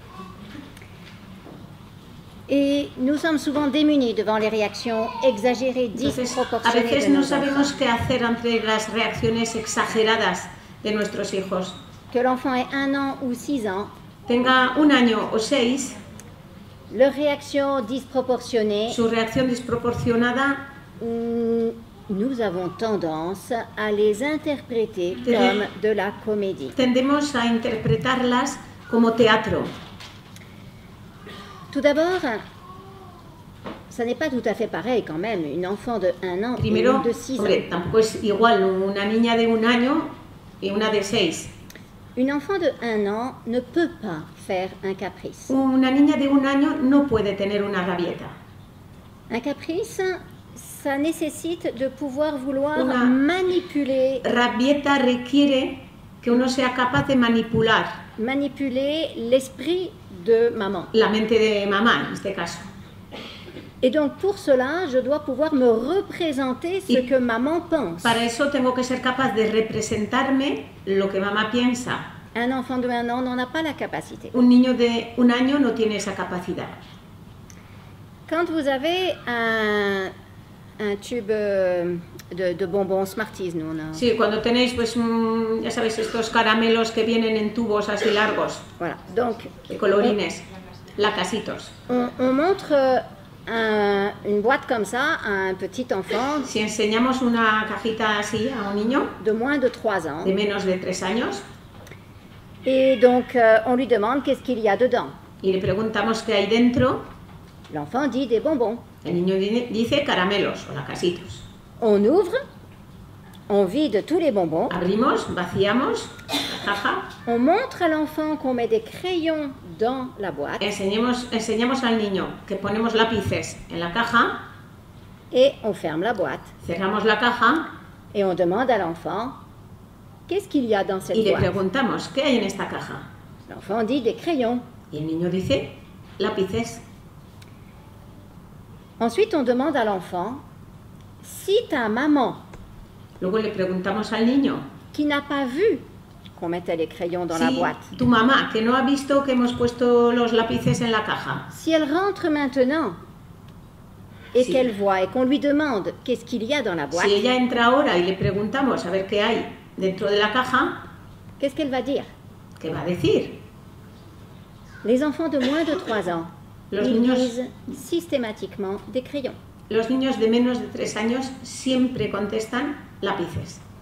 C'est-à-dire que l'enfant ne peut pas se mettre à la Es place decir, de sa maman no son capaces de ponerse en el lugar de la madre et donc de réaliser que la mère, n'ayant pas tanto vu, de darse cuenta de que la madre, al no haber visto n'avait pas vu qu'on mettait des crayons, donc Lo que se ponía en- forcément en la la maman caja. va dire euh, ce sont des bonbons. Entonces, claro, si la madre no ha visto que, eran la- que se ponían lápices, va a decir, aquí hay caramelos. Ce n'est qu'à partir de 3 ans que l'enfant a cette capacité. Solo es a partir de los tres años cuando el niño tiene esa capacidad de anticipar, de representar lo que ha Donc- hecho la madre. Nous avons une certitude, c'est que le bébé d'un an ne fait pas un caprice. Entonces tenemos la certeza que un niño de un año no puede tener una rabieta, Mais il pleure de manière exagérée. pero llora de manera exagerada. Alors exagéré, ça veut dire quoi pour nous les adultes Entonces, ¿qué significa exagerada ¿no? para nosotros los adultos? Ça veut dire qu'on comprend pas pourquoi. Quiere decir que no entendemos el porqué. Et finalement, ce n'est peut-être pas l'enfant qui pleure de manière exagérée, E- Entonces, igual no es el niño el que llora de manera exagerada, mais nous qui ne comprenons pas pourquoi elle pleure. sino nosotros los que no entendemos por qué llora. C'est quelquefois très compliqué de comprendre un tout petit A veces es muy complicado entender a un niño muy pequeño. Récemment, on a identifié que les bébés qui pleurent beaucoup, Hace poco se ha identificado, se identificó que los niños que lloran mucho, vous savez, ces bébés qu'on disait des bébés intenses, esos niños a los que se llamaba intensos, les bébés qui pleuraient tous les jours et que beaucoup et lloraban vers todos los 18 heures, días y mucho hacia las 6 de la tarde, on a découvert récemment qu'en fait, ils ont une bactérie dans les se intestins. descubrió hace poco que en realidad tienen una bacteria en los intestinos Une semaine d'antibiotiques, ils pleurent plus. y con una semana de antibióticos dejan de llorar. Donc évidemment, on pouvait croire avant que les enfants, ces enfants pleuraient de manière Entonces exagérée. podíamos pensar que lloraban de manera exagerada. C'était pas exagéré, c'est juste que nous Pero à l'époque, on savait No pas era una voir, manera exagerada de llorar, sino que nosotros entonces no sabíamos ver, on ne savait pas voir les bactéries. no se veían las bacterias Et donc on n'avait pas identifié qu'en fait y ces no se había mal ventre, identificado tout que lo que tenían estos niños era dolor de tripas. Donc on ne sait pas toujours ce qui se passe pour un Entonces enfant no siempre podemos saber qué es lo que pasa, ¿eh? Mais on peut être un certain. un. On peut être certain qu'ils pleurent pour une bonne raison. Pero sí podemos estar segura, seguros de que si lloran es por algo, una razón de peso. Il y a d'abord toutes les raisons physiologiques. Están todas las razones fisiológicas. La faim, El hambre, la soif, la sed, trop chaud. demasiado calor. La plupart des parents couvrent trop leur bébé. La mayoría de los padres abrigan demasiado a sus Et beaucoup d'enfants pleurent tout simplement et crient pendant des heures parce qu'ils Eh, ont muchos besoin. niños lloran y gritan durante horas simplemente porque necesitan que se les destape. La maman a froid, elle se dit mon bébé a La froid. mamá tiene frío y piensa, mi bebé tiene frío. Vous avez remarqué, beaucoup de bébés se calment dès qu'on les met dehors au Sí, sí, muchos niños eh, se tranquilizan en cuanto se les saca la- al frío, a la calle. Donc nous couvrons trop les bébés. Mais Entonces los tapamos, los abrigamos demasiado. peut-être elle a mal au ventre. También puede ser que le duela la tripa. Peut-être quelque chose se passe dans son corps. Puede que algo esté pasando en su cuerpo. Peut-être que il lui manque quelque chose sur le plan de l'attachement. Quizá le falte algo a nivel del apego. Nous sommes dans une culture euh, qui voue un culte à la en un- séparation. a- en una cultura que tiene el culto a la separación. Et donc on veut que les enfants de un an soient déjà Y autonomes. queremos que los niños de un año ya sean autónomos. Eh bien non. Pues Un no. enfant d'un an n'est pas encore Un autonome. bebé de un año todavía no es autónomo. Par contre, on est très paradoxaux, nous, les parents. Entonces somos, mm, en cambio, muy paradójicos los padres. Parce que récemment, là, une maman me disait, je ne comprends pas, c'est des hurlements Porque et des pleurs. poco una mamá me decía, no entiendo, no hace más que gritar, chillar, llorar. À chaque fois que j'essaye de changer la couche Cada de vez mon enfant que le cambio el pañal de 18 mois. De a los 18 meses. J'ai froncé les sourcils, je lui dis, est-ce que vous essayez quand même Fruncido. pas de lui changer la couche allongée sur la table allongée las cejas y le dije, le dije, ¿no estarás cambiándole el pañal tumbado en, en la mesita? Et si? Elle essayait de lui changer sa couche allongée. Pues sí, intentaba cambiarle el pañal con el niño tumbado, Or, à partir de un an, no. Les enfants del año, détestent être allongés impuissants. los niños aborrecen estar tumbados, Ils veulent marcher. impotentes, quieren andar. Et donc, on leur change leur couche Y debout la plupart du temps. el pañal de pie, estando ellos de pie. Mais c'est vrai que si on ne réalise pas que l'enfant a besoin, Pero si no nos damos De son espacio, de que el surtout- niño necesita su espacio et surtout de ne pas être coincé dans revenir un bébé, y que no hay que eh, eh, devolverlo a- a- al estado de bebé, alors ça se passe mieux. Donc entonces l'enfant, si nos damos cuenta de eso, las cosas mejoran. un enfant va pleurer de manière que nous, nous allons trouver exagérée, Un niño puede llorar de una manera o va a llorar de una manera que nos parezca a nosotros exagerada quand nous ne comprenons pas son problème. cuando no entendemos su problema. Les problèmes, c'est soit, donc on a vu physiologique, Entonces hemos visto que los problemas son bien fisiológicos, soit liés à l'attachement, c'est-à-dire bien que, relacionados con el apego, c'est-à-dire que la figure d'attachement que la imagen o la figura de, ap- proche. de apego no es lo bastante próxima, soit un manque de liberté, bien una falta de libertad, un, une, un empêchement d'utiliser un sa liberté, impedimento para que ellos utilicen su libertad, de- d'explorer. su libertad para explorar. Un petit enfant, c'est une machine à apprendre. Un niño pequeño es una máquina de aprender, Et donc, il veut apprendre un maximum tout le temps. entonces siempre quiere estar aprendiendo al máximo, Il veut développer son cerveau. quiere desarrollar su cerebro, Il veut bouger. Il vient d'apprendre. Il a un an. Tiene un año, Un an, il marche.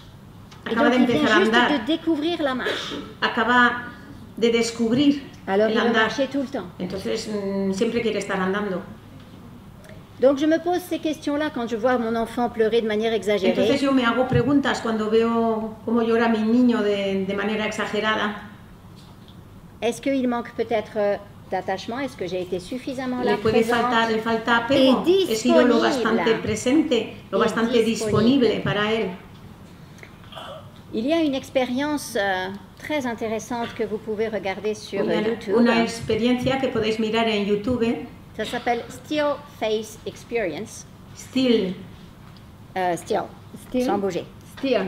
Still Et donc, euh, c'est Experience.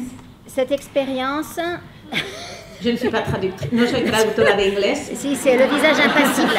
Eh, eh, Ah, la cara le visage impasible. L'expérience, c'est Sí, une maman et son bébé communiquent comme ça. Donc, Sí, euh, es que il- una mamá y su bebé están comunicando eh, así con la sonrisa, Le bébé pointe, la maman el, regarde. el niño señalando con el dedo, la mamá mirando. On est dans ce bain d'attachement. Estamos en un ambiente de, ap- de apego. Et l'expérience, on demande à la maman de tourner la tête, Entonces, en la experiencia se le pide a la mamá puis de que vuelva la cabeza y que mire otra vez de frente, de regarder l'enfant, que mire al niño, mais en gardant le visage totalement impassible. pero con el- la cara impasible. En quelques secondes, En, l'enfant algún- se met à pleurer. en pocos segundos, el niño empieza a llorar. Et c'est le genre de moment où nous, les parents, on risque de dire il pleure de manière Es el, exagérée. el tipo de, de momento en el que pensamos que está llorando de manera exagerada. Ça nous arrive souvent de ne pas avoir le visage en réaction. Eso nos ocurre a menudo, el no tener la cara Quelquefois, on est que fatigué, reaccione. Estamos Quelquefois on est- cansados a veces, quelquefois, on est énervé, nerviosos, quelquefois, on en a algunos mm, unas veces hartos, Et donc, on a le visage impassible. y entonces nuestra cara está impasible Et évidemment, ça fait pleurer le bébé. y eso le hace llorar al bebé. C'est une réaction inscrite dans le cerveau de l'enfant Es una reacción inscrita, grabada en el cerebro del niño que l'enfant ne peut pas maîtriser. que el niño no puede controlar. Très rapidement, l'enfant pleure, puis perd le contrôle de Rápidamente sa posture. empieza a llorar y pierde el control de su, de su postura. Et c'est vraiment important de voir que l'attachement es importante ver que el apego nourrit le cerveau. nutre el cerebro. Ça n'est pas seulement être sympa avec son bébé. No se trata solamente de ser simpático con, su, con, con tu bebé. Ça développe le tonus postural. Eso también desarrolla el, el tono muscular, Ça développe l'intelligence. la inteligencia. Ça développe la capacité de gestion du stress. desarrolla la capacidad de gestión del estrés. Donc, euh, quelle réaction avoir quand notre enfant, quand nous, nous considérons que c'est exagéré? Entonces, ¿qué reacción tenemos que tener cuando consideramos que él tiene una reacción exagerada? Je réfléchis où est-ce que le besoin de mon enfant n'a pas été satisfait? reflexionar en qué momento la necesidad de mi hijo no ha sido cubierta. Heureusement, évidemment, on n'est pas obligé d'être tout le temps parfait. On a le droit No d'être temps tenemos en la obligación de ser perfectos. Tenemos derecho a equivocarnos. On a le droit d'être de temps en temps impassible. Tenemos derecho a tener la cara impasible de vez en cuando. Et quand vous allez regarder sur YouTube, vous allez voir qu'après, la maman se remet à faire des sourires Y et hop, luego l'enfant veréis en YouTube se que la mamá otra vez empieza a, a ser expresiva y el niño se cura, entre comillas. Il ne faut, c'est pour que vraiment ça abîme l'enfant, il faut que ce soit répété, para que répété, el bien cerebro del niño se estropee, esa actitud tiene que ser repetida muchas veces. L'enfant peut tout à fait tolérer que de El temps en temps puede tolerar que de vez en cuando la cara de la madre no sea sonriente, menos mal. Mais voilà, c'est quand même pour euh, comprendre que un enfant d'un an ne pleure pas de manière Pero exagérée. es para entender que, que un niño de un año no llora de manera exagerada. S'il pleure, c'est proportionnel à ce qu'il vit. Si llora, si llora es algo proporcionado a lo que él está viviendo. Mais c'est vrai que c'est compliqué quand on est parent, es complicado ¿eh? Cuando uno es profesional. padre o profesional, parce qu'un enfant d'un an est capable de pleurer pendant une porque demi-heure, un niño de un año es capaz de llorar durante media hora, parce que d'habitude la bouteille elle est là, porque de costumbre la botella está aquí et que cette fois-ci on l'a mis là. que hoy está allí. Et avant que nous, l'adulte, on réalise que quelque chose a changé dans son environnement de que algo ha cambiado en su entorno et que donc il se sent vraiment y insécurisé, que se siente inseguro, ça nous prend du temps. pues tardamos tiempo en darnos cuenta. Les enfants tout petits ont besoin de beaucoup de régularité. Los niños muy pequeños necesitan mucha regularidad.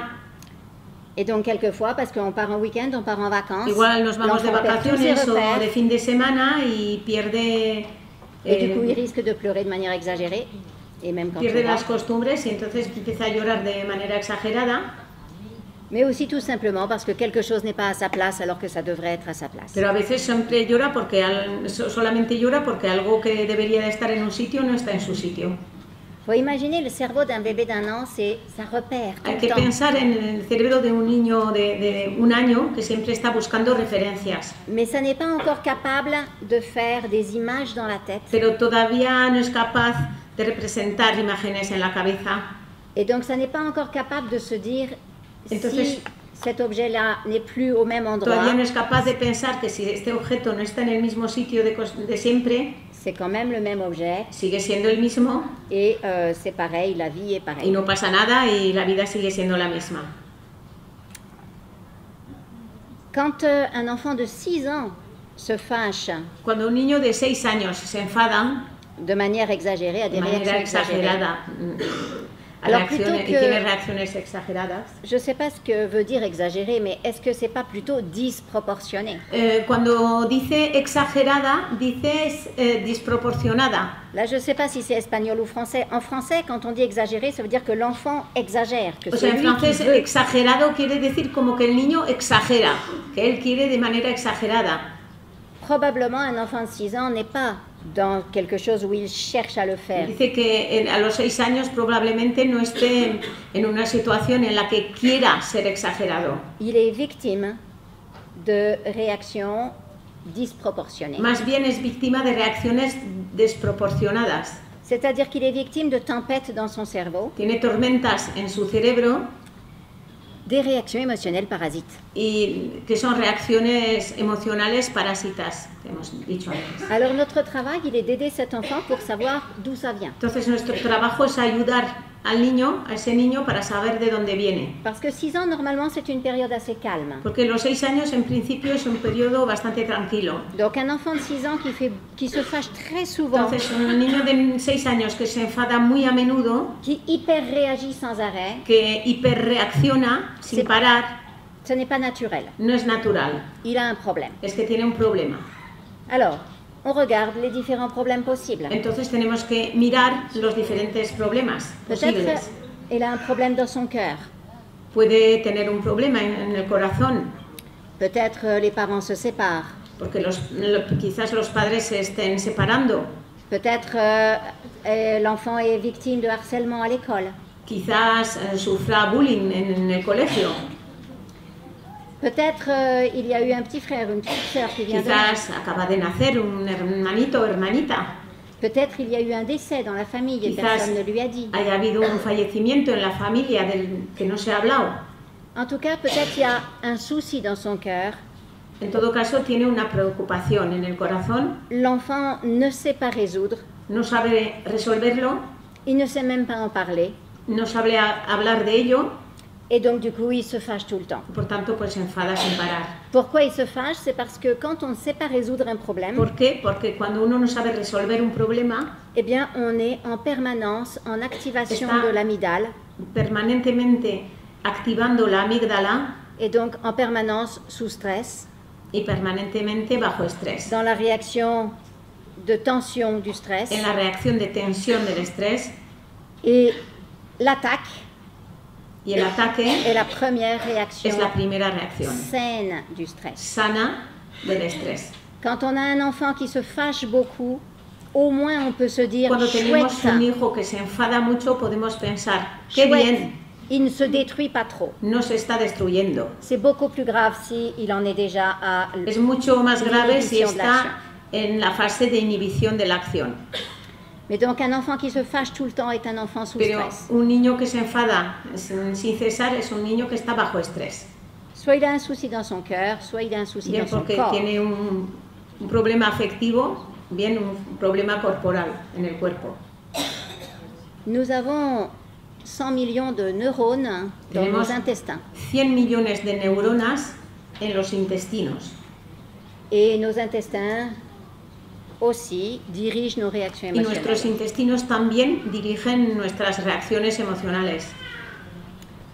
Parfois, un enfant peut être particulièrement réactif parce que ses A veces intestins un niño puede ser especialmente reactivo Parce que porque sus intestinos mm, le dan problemas. Euh, c'est peut-être parce qu'il mange des nourritures trop inflammatoires. Puede donc, ser porque mm, tome comidas demasiado inflamatorias. par exemple, du bœuf nourri au maïs. Por ejemplo, ternera alimentada con maíz, Ça va déclencher trop d'oméga 6, que va une, desencadenar eh, omega 6 euh, des- une inflammation trop importante dans son cerveau, en- dans son corps. en su cuerpo. Et le stress, en fait, ça peut être psychique, mais ça peut être physique. Y el estrés puede ser eh, psíquico, pero también físico. Quand euh, l'enfant a du mal à s'adapter à la nourriture qu'il le mange, l'inflammation peut générer La des réactions disproportionnées. puede émotionnelles. generar eh, reacciones emocionales desproporcionadas. Quand, euh, alors, il y a euh, les viandes, mais surtout, ça peut être aussi le gluten, Las carnes, pero también puede ser el gluten, les caséines du lait. las caseínas de la leche. Ces, ces deux protéines sont extrêmement allergisantes Estas et, mm, dos proteínas son mm, muy alergizantes et pour les enfants sensibles, tout le monde n'est pas sensible, y para los niños sensibles, no toda la gente es sensible. les protéines vont passer trop rapidement dans le sang Las proteínas van a pasar demasiado rápidamente a la sangre et monter, se fixer dans le cerveau y subir a fijarse en el cerebro sur des récepteurs qu'on appelle les récepteurs opioïdes sobre receptores que se llaman receptores opioides qui déclenchent des addictions. que desencadenan adicciones Et donc ces enfants adorent les pâtes, le por pain, tanto estos niños, a estos niños les encanta la pasta, el pan, justement parce qu'ils sont intolérants et qu'ils ne digèrent pas le gluten. precisamente porque son intolerantes y no digieren el gluten. Mais le problème, c'est que ces, ces récepteurs opioïdes, du coup, Pero sont el, saturés. el problema es que los receptores opioides se saturan Et donc l'enfant va être extrêmement euh, entonces el agressif, niño va estar, nerveux, estar muy nervioso, agresivo, en tensión. Peut-être que ça a à voir avec le sucre. Puede tener que ver con el azúcar. Aux États-Unis, maintenant, quand euh, un enfant est particulièrement hyperactif En ou Estados agressif, Unidos, por ejemplo, cuando un niño es especialmente hiperactivo o agresivo, immédiatement, le médecin demande inmediatamente el médico pide de la tolérance au que glucose. se mire la tolerancia a la glucosa. Ici, en Europe, on ne le fait pas encore, Y Aquí en Europa todavía no se hace, mais c'est une drôlement bonne idée de le pero faire. es una muy buena, sería una muy buena idea el hacerlo. On peut aussi tout simplement supprimer le sucre pendant une journée et voir ce qui se También passe. se puede quitar el azúcar, quitar el azúcar durante un día y a ver qué pasa. Avec un enfant de 6 ans qui se fâche tout le temps, j'arrêterai le lait. Yo con un niño de 6 años que no para de enfadarse, yo eh, le dejaría la leche, Le lait, surtout s'il est écrémé. sobre todo si es leche desnatada, Et j'arrêterai le lait parce que les études montrent que Si yo dejaría de les, darle leche porque los estudios demuestran les enfants qui sont sensibles au lait que los niños sensibles a la, le- a la leche euh, ont plus de mal à se concentrer et risquent d'être plus agressifs et plus más violents. dificultad de concentración y pueden ser más violentos y agresivos. Et dans les écoles où on a supprimé le lait Y et en las le sucre, escuelas donde se ha suprimido la leche y el azúcar, on a obtenu plus de 50% de baisse se de l'agressivité. se ha obtenido un 50% De la violence. de agresividad, de violencia. Et il est quelquefois spectaculaire de voir un enfant réussir enfin à se concentrer Y a veces es espectacular ver cómo entonces consigue concentrarse un niño que antes nunca se podía concentrar. Pour savoir si un enfant est sensible au, lait ou au sucre, Para c'est saber simple. si un niño es sensible a la leche o al azúcar, on peut faire les études euh, médicales qui coûtent cher, se pueden eh, hacer pues, em, estudios médicos que cuestan mucho dinero ou on peut supprimer pendant quelques jours, o se puede intentar suprimir durante unos días parce que le lait, euh, l'efficacité de la suppression du lait se voit dans la la journée. leche porque la, la eficacia de la supresión de la leche se puede comprobar en un solo día. Un niño de 6 años no bebe leche, Par- parfois, certains enfants en boivent encore. pero a veces sí que algunos niños Et todavía donc, beben à ce moment-là, le supprimer, on va voir tout de suite. Entonces, mm, lo podemos suprimir y veremos cómo se tranquiliza. Faites l'expérience. Hacer, es, eh, hacer la experiencia, intentarlo. Pour le gluten, il faut 5 jours. Para el gluten son 5 días 5 jours pour voir l'efficacité. para ver la, la eficacia. Mais pour le lait et pour le sucre, Para la, 24 la heures. leche y el azúcar 24 horas. Se- en 24 horas se comprueba. Un enfant de 2 ans, Un niño de 2 años, quelles alternatives à la punition ¿qué alternativas tiene al castigo? Alors, euh, on a besoin de trouver des alternatives à la punition pour euh, tout. Mais la première chose, que oui, encontrar alternativas âges. a- a- al castigo para todas las edades. Mais c'est clair qu'à 2 ans, c'est particulièrement inefficace la punition. Pero está claro que a los dos años es especialmente poco eficaz, Puisque la punition est quelque chose qui permet d'apprendre de ses erreurs. que el castigo es algo que permite aprender de los errores de uno mismo. Donc c'est un fonctionnement très adulte. Por Les tanto, es un adultes, funcionamiento adulto. les adultes, nous apprenons de la punition. Los adultos sí que aprendemos con el castigo. Si on nous met une amende en voiture, Si nos euh, multan con el coche, on le refait plus, enfin pas tout ya no lo volvemos a hacer, por lo menos no de inmediato. Le principe de la punition présuppose El que principio del castigo presupone qu'on est capable d'apprendre de ses erreurs. que somos capaces de aprender de nuestros errores.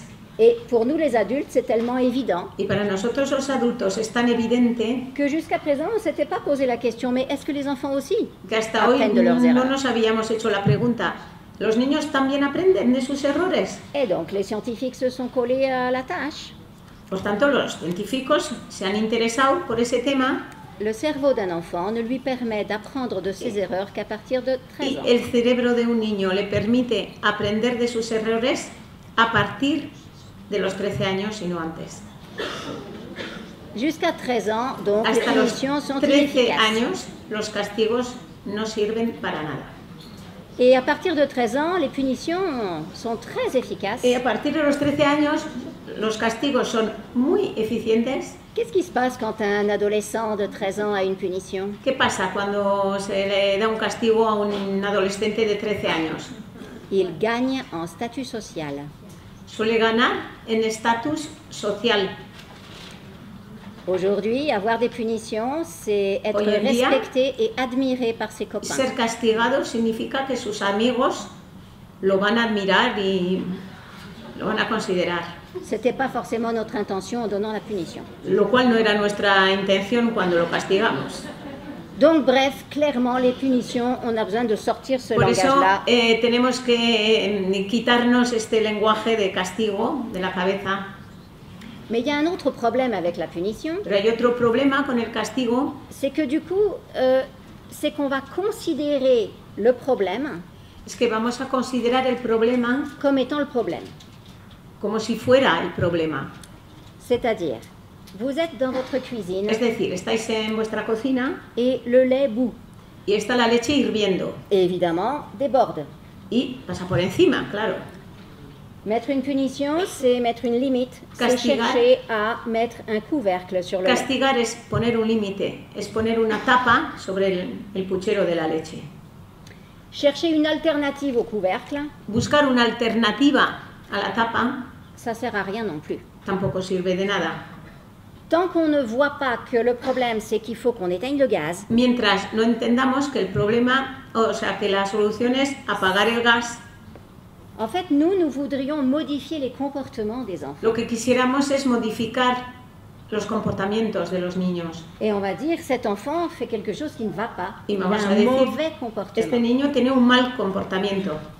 Mais en fait, c'est pas un mauvais comportement, c'est un débordement. Pero en realidad no se, traba- no se trata de un mal comportamiento, sino Mais de, de que se pasa por encima, se va por se desborda. Et ce débordement, ça sert à rien que j'essaye de le canaliser. Y si yo lo que intento es eh, canalizar este desbordamiento, Mon travail de parent, mon travail de professionnel, mon travail mi trabajo de padre, de profesional o de adulto c'est d'éteindre le gaz. va ser apagar el gas.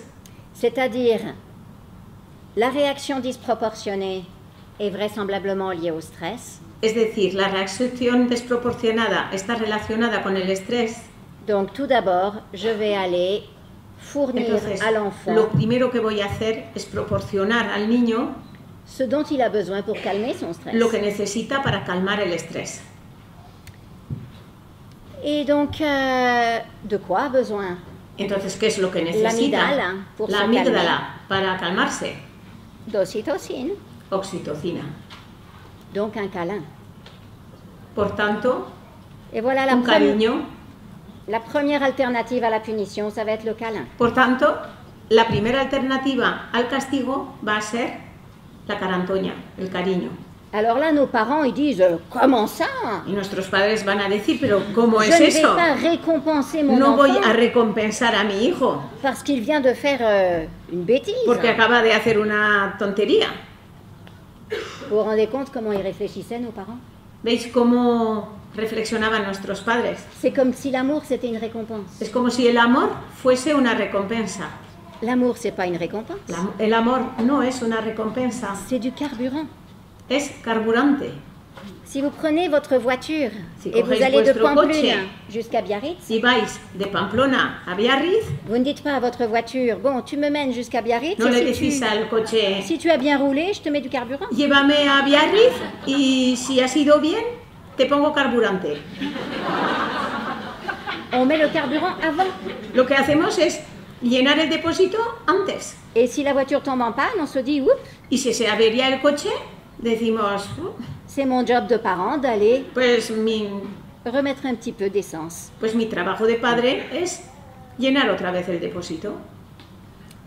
Donc l'amour, ça n'est pas du tout une récompense. C'est vraiment du carburant et c'est le carburant de nos es una enfants. recompensa, es el carburante y es el carburante de nuestros hijos. Une expérience a été menée sur euh, des plus grands. Se llevó una experiencia sobre niños de más edad, qui et donc il y avait deux groupes, había dos grupos, un groupe, c'est les enfants de 12 ans, je crois, un grupo de niños de 12 años qui, devaient, qui jouaient une demi-heure par jour avec leur maman. que jugaban media hora al día con su madre. Désolé pour les papas, c'est sûrement ça marche Lo siento por papas, los padres, la- por los papás. eh, sur des mamans. seguro que funciona igual con los papás, pero el experimento se hizo con las mamás. Et l'autre groupe ne jouait pas spécialement avec euh, sa maman. Y el otro grupo no jugaba especialmente con su madre. On a mesuré dans le sang Se midió en la sangre de los niños les hormones, notamment las hormonas l'hormone du stress, le cortisol. y especialmente la hormona del estrés, el cortisol. Les enfants qui jouaient une demi-heure par jour avec leur maman Los niños que jugaban media hora al día con su madre avaient un taux de cortisol beaucoup plus bas tenían un- que celui una tasa du groupe contrôle. de cortisol mucho más baja que el grupo, que el otro grupo. C'est énorme comme constatation. Es una constatación enorme. Ça veut dire que la qualité d'amour que nous donnons à nos Significa que la calidad del amor que damos a nuestros hijos, la quantité de- d'attention que nous donnons la cantidad enfants, de atenciones, de atención, va modifier des paramètres physiologiques. va a modificar parámetros fisiológicos. L'étude a, duré plus de 4 mois. El estudio duró más de cuatro meses. Et évidemment sur 4 mois, il y a toutes sortes d'agents de stress qui sont survenus. y en cuatro meses surgieron cantidad de agentes de estrés. Il y a des parents, des grands-parents qui sont décédés, Algunos, ah, por ejemplo, abuelos que il y a eu fallecieron, des déménagements, eh, mudanzas, il y a eu des accidents, accidentes, toutes sortes de choses qui toda dans clase la de cosas que ocurren en la vida. Et là, on avait le taux de cortisol des enfants. Y ahí se veían la tasa de cortisol de los niños. Quand il y avait un gros facteur de stress Cuando dans había un, contrôle, un factor de estrés alto, le cortisol montait très el fort. cortisol subía muchísimo. Réaction de stress très forte. Reacción de estrés muy fuerte. En revanche, les enfants qui avaient joué une demi-heure par jour En avec leur cambio, maman, los niños que habían jugado media hora al día con su madre, à peine une petite courbe. apenas tenían una curva que subía un poco. Ça montre vraiment que donner de l'attention à nos demuestra enfants que dar atención a nuestros hijos va leur fournir les va proporcionar le carburant el carburante dont ils ont besoin pour que gérer necesitan para le stress, gestionar el estrés, pour gérer les choses difficiles para la vie. gestionar las cosas difíciles de la vida. Je remplis leur réservoir Yo lleno de su capacité depósito d'adaptation. de capacidades de adaptación. C'est comme si on avait un réservoir d'adaptation Es como si tuviéramos una reserva, un depósito de adaptación et donc euh, le contact avec maman, le contact y el avec papa contacto con mamá, el contacto con papá, va remplir ce réservoir va a llenar ese depósito et me permet de faire face à des tas de choses dans ma vie. y, va, y me va a permitir a enfren- enfrentarme a cantidad de cosas en la vida. Quand euh, mon réservoir est vide, Cuando mi depósito está vacío, je n'arrive plus à m'adapter no consigo, ya no consigo adaptarme. et donc la moindre petite chose peut déclencher une réaction de Y stress, por tanto, la más mínima cosa puede desencadenar una reacción de estrés, une réaction d'attaque una reacción de ataque agressive agresiva, ou bien une réaction de fuite, o de bien una retrait reacción de huida, ou bien une réaction d'inhibition, l'enfant qui ne bouge una plus. reacción de inhibición, de niño que no se bouge. mueve. Et il bouge Y que estamos, venga, muévete, y está ahí paralizado. L'autre chose qui se passe pour un enfant de deux ans, puisque on a dit donc première alternative, donner un câlin. Entonces, primera alternativa diríamos dar cariño Donner le câlin va permettre y una de calmer l'amygdale. que va a permitir eh, calmar la amígdala.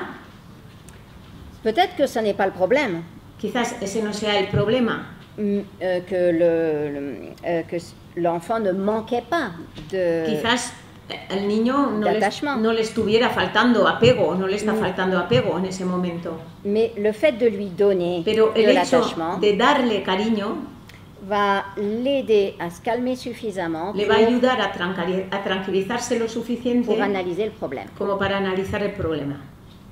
Quand on est en plein milieu d'une émotion, on ne peut pas enseigner quoi que ce soit. Cuando L'enfant ne estamos peut pas apprendre. en medio de una emoción no se puede enseñar nada, el niño no, no puede atender. Donc, aprender. on apprend avec les zones du frontal, avec les zones Aprendemos con las zonas del frontal, Avec con les las zonas laterales, On appelle ça les structures supérieures, con las estructuras associatives. superiores, asociativas, Mais quand le cerveau est sous stress, pero cuando el, el cerebro está bajo estrés, les zones associatives sont inhibées. las zonas asociativas están inhibidas. Donc, mon premier job de parent, Entonces, déjà mi primer trabajo de padre fournir l'attachement. es proporcionar el apego, Donc, c'est le câlin, entonces le eh, regard tendre, el cariño, la cara antoña, la mirada tierna, doux, las palabras dulces, je t'aime, etc. te quiero, todo eso, Jouer ensemble, jugar juntos, faire un gros euh, chahut sur le lit. eh, jugar eh, siendo revoltosos encima de la cama juntos, remplir le réservoir. todo lo que pueda llenar, lo que llene el depósito. Après, un enfant de deux ans, j'ai à lui enseigner des choses. Luego a un niño de dos años le tengo que enseñar muchas cosas, porque todavía es muy pequeño. Une punition signifierait aussi qu'il a le contrôle de son comportement. Un castigo también significaría que él tiene el control de su comportamiento. Un enfant de deux ans n'a pas le Un contrôle niño de de dos años no tiene el control sobre su comportamiento. Il a un peu de contrôle, Tiene un poquito de control, mais pas encore beaucoup. pero todavía no mucho. Par exemple, quelquefois, on va dire à un enfant, avant d'aller chez le Por docteur, ejemplo, a veces a un niño antes de ir al médico le diremos, on est, on est dans la salle d'attente estamos en la sala de espera, et on lui dit, tu fais bien attention. le decimos, ten cuidado, Quand on va rentrer dans le bureau du docteur, cuando tu ne touches à entremos rien en la consulta del médico no toques a nada encima del despacho, mignon, tout ça. del, no, del escritorio. Toutes les mamans et papas rigolent bien. parce qu'on sait tous ce que va Todos los padres y madres están riendo porque saben muy bien lo que va a pasar. Même si l'enfant dit Je touche à rien. Incluso cuando el niño dice, no voy a tocar a nada. Donc on se dit Il a bien compris la consigne. pensamos, qué bien nos ha entendido. Dès qu'il arrive dans le bureau, Nada más entrar en el despacho, ah, ve algo y, ah, y lo coge. pourquoi? Parce que dans son cerveau, ¿Por qué? Porque en su cerebro, même s'il est capable de répéter une consigne aunque sea capaz verbale, de repetir verbalmente una consigna, la zone de j'ai envie de, la zona de tengo De- ganas de, la- l'impulsion à l'action, la impulsión a la acción, n'est pas encore connectée todavía no está conectada suffisamment lo, lo avec la zone d'inhibition de con la zona de inhibición de la acción. Le cerveau préfrontal n'est pas encore El suffisamment cerebro efficace. prefrontal todavía no es lo bastante eficaz. Et donc, comme c'est pas connecté, ben c'est pas connecté. pues como no está conectado, pues no está conectado. Donc, euh, on peut être, on peut avoir confiance en un enfant de deux ans Entonces, podemos mm, fiarnos de, de un niño de dos años. si nous lui interdisons quelque chose, il va le faire. Si le prohibimos algo, mm, lo va a hacer, lo va a hacer. Surtout que nous, les adultes, nous oublions que l'enfant ne fonctionne pas comme nous Porque los adultos, a los adultos se nos olvida que el niño no funciona como nosotros et le plus souvent, nous allons dire les choses en négatif. y generalmente diremos las cosas en negativo. Ne touche pas à la bouteille. No toques a la botella. Donc, un adulte est à peu près capable de le faire, Entonces un niño, un adulto, más o menos es capaz de hacerlo. plus ou moins. hein. Más o menos solamente. Parce que si je vous dis maintenant, si je vous dis ne pensez pas à un zèbre, Por ejemplo, ahora si os digo, no penséis en una cebra. vous ne m'obéissez pas. No me habéis obedecido. Donc lorsque on, on formule un interdit, Entonces, cuando formulamos una prohibición, nous sommes en réalité en train de donner un ordre. en realidad estam- estamos dándole una orden al niño. Un enfant de deux ans, comme il n'a pas encore la capacité Un niño de de, dos años, de tenir dans sa tête, como todavía no tiene la capacidad de tener en su cabeza, je vois quelque chose Eh. et en même temps je sais que c'est de interdit, decir veo algo, pero al mismo tiempo sé que eso está prohibido, ce que nous, nous pouvons faire rapidement, cosa que on nosotros podemos zèbre hacer enseguida. ¿eh? Vemos la, la cebra y la borramos de la mente. À deux ans, l'enfant n'a pas la capa- A il n'est los pas dos capable años, de jouer niño avec les no images es capaz mentales. Eh, de jugar con las imágenes mentales. Donc, lorsque vous lui dites ne touche pas à la bouteille, Entonces, cuando le decís no toques a la botella, son cerveau n'entend pas le ne pas su cerebro no oye el no et il entend touche bouteille. y solo oye toca botella. Il le fait. Lo hace. Et donc, plutôt que de chercher des alternatives à la punition, Entonces, mejor que buscar alternativas al castigo, nous allons chercher davantage à comprendre comment lo que vamos a hacer es mm, intentar eh, comprender cómo funciona su cerebro. Et en tout cas, on peut être sûr que le cerveau d'un enfant de 2 ans, ça fonctionne pas du tout y desde luego podemos estar estar seguros de que el cerebro de un niño de dos años no funciona como el cerebro de un adulto. Donc, nous ne pouvons pas interpréter ces comportements Por eso no podemos interpretar sus comportamientos de la même manière qu'on interpréterait des comportements d'un de la adulte. misma manera que interpretaríamos eh, los comportamientos de un adulto.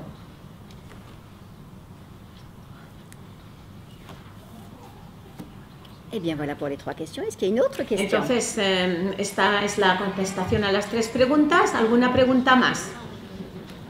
¿Hay alguna pregunta más? Una o dos.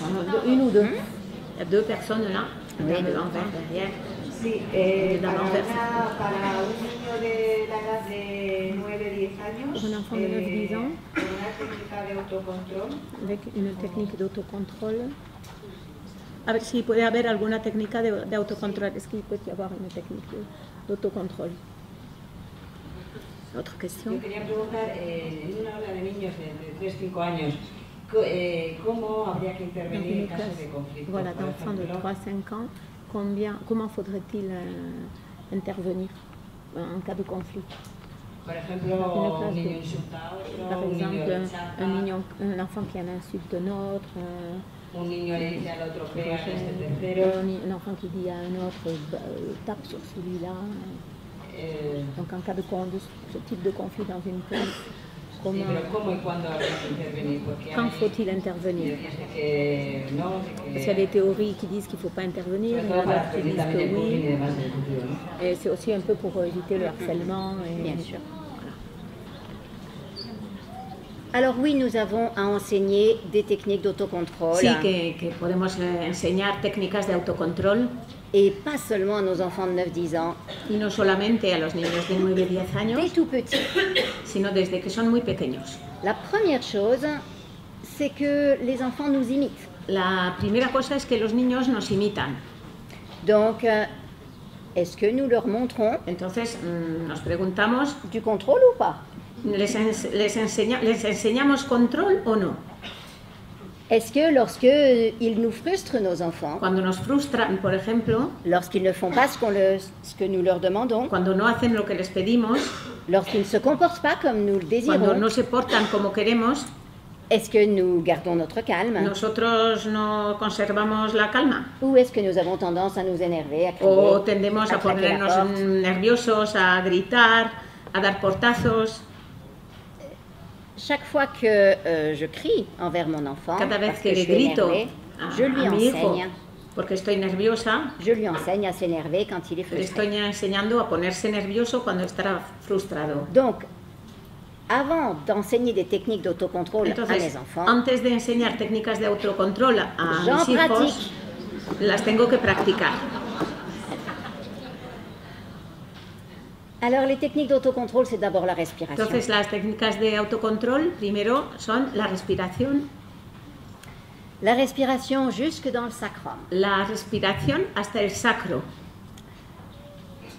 Quand euh, nous respirons, parce que quelquefois on, on dit euh, Ah, il faut que je respire et on fait ça. Cuando respiramos decimos, ay, tengo que respirar y hacemos así. Chaque fois que nous respirons avec le haut de la poitrine, Cada vez que respiramos con la parte alta del pecho, ça va nous faire être encore plus énervés. eso nos va a poner todavía más nerviosos. Alors quelquefois on dit il faut respirer dans le ventre. Entonces, a veces nos dicen hay que respirar con la tripa. Alors, respirer dans le ventre, c'est une technique qui vient de l'Orient, Respirar en la tripa es una técnica que viene de Oriente, mais on a perdu des choses dans la traduction. pero la traducción no ha sido buena y se han perdido cosas. Les orientaux, quand ils parlent de ventre, Los orientales, cuando hablan de tripa, ils parlent de toute la zone, hablan de toda la zona, jusque derrière. hasta detrás. Nous, ventre, c'est ça. Para nosotros la tripa es esto. Et donc, respirer dans le ventre, on a Entonces, hop, hop, respirar hop, en la tripa es eso, en la tripa. En fait, c'est pas ça. Pero no es si nous eso. avons une respiration dans le ventre, nous allons nous sentir Si tenemos una respiración en, el, émotionnellement vulnérables. vamos a sentirnos emocionalmente vulnerables. Pour euh, la différence, c'est donc euh, de sentir qu'on respire Entonces, dans le dos la diferencia es sentir que respiramos en la espalda et jusque dans le sacrum. hasta el hueso sacro. Euh, Peut-être vous pouvez faire l'expérience tout de suite. Si queréis, pode- lo podemos intentar ahora mismo, hacer la experiencia. Pensez à, pensez à quelque chose qui vous énerve. Pensad en algo que os pone Quelque chose nerviosos, qui vous met mal à l'aise. o que os chose incomoda o que os disgusta. Et respirez avec le ventre. Y respirad con la tripa Et sentez ce qui se passe. y sentid lo que está pasando. Ok? Et maintenant, commencez à respirer en sentant Y ahora votre sacrum. empezar a respirar notando el sacro. El Évidemment, sacro. l'air ne va pas jusque dans le sacrum. Claro, el, el aire no llega hasta el sacro, Mais votre intention, parce qu'en fait, nos, nos poumons, pero la intención, porque nuestros pulmones nos poumons se- ne se, se développent pas seulement vers l'avant. ils no, se so- no desarrollan solamente hacia adelante, l'arrière Et vers le bas. sino también hacia atrás y hacia abajo. Et donc l'intention, si avec ma tête, Entonces, je cherche à me mettre euh, ma, Si toute con mon intention mi cabeza intento poner toda la intención reflejí. en el hueso sacro, Voilà y comment je vois mon reflexiono, problème quand je suis comme ça. ¿eh? cómo veo vuestros problemas cuando estoy así.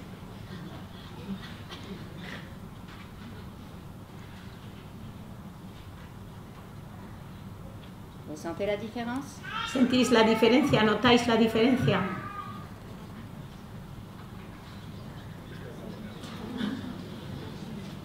Sin más, Alors on va le faire plus clairement. Vous posez lo, vos trucs et lo vous vamos vous a hacer de manera más clara. Vous Dejáis vuestras cosas face face, deux y os deux. ponéis de pie, eh, de frente, pero de dos en dos. Frente a frente, de dos en dos.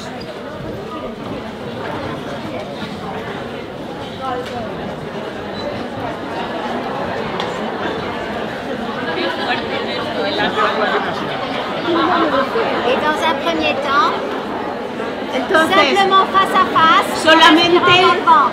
de frente, de frente, frente a frente y respirando en la tripa.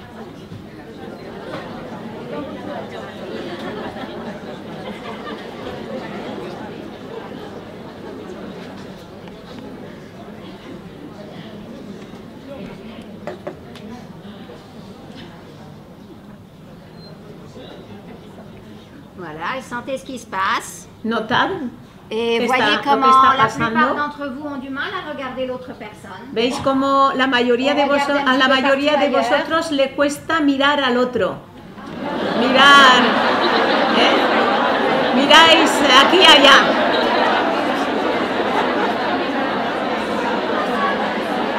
No todos. Et maintenant, Y ahora, et maintenant, respirez dans votre sacrum. ahora respirad bien en el sacro.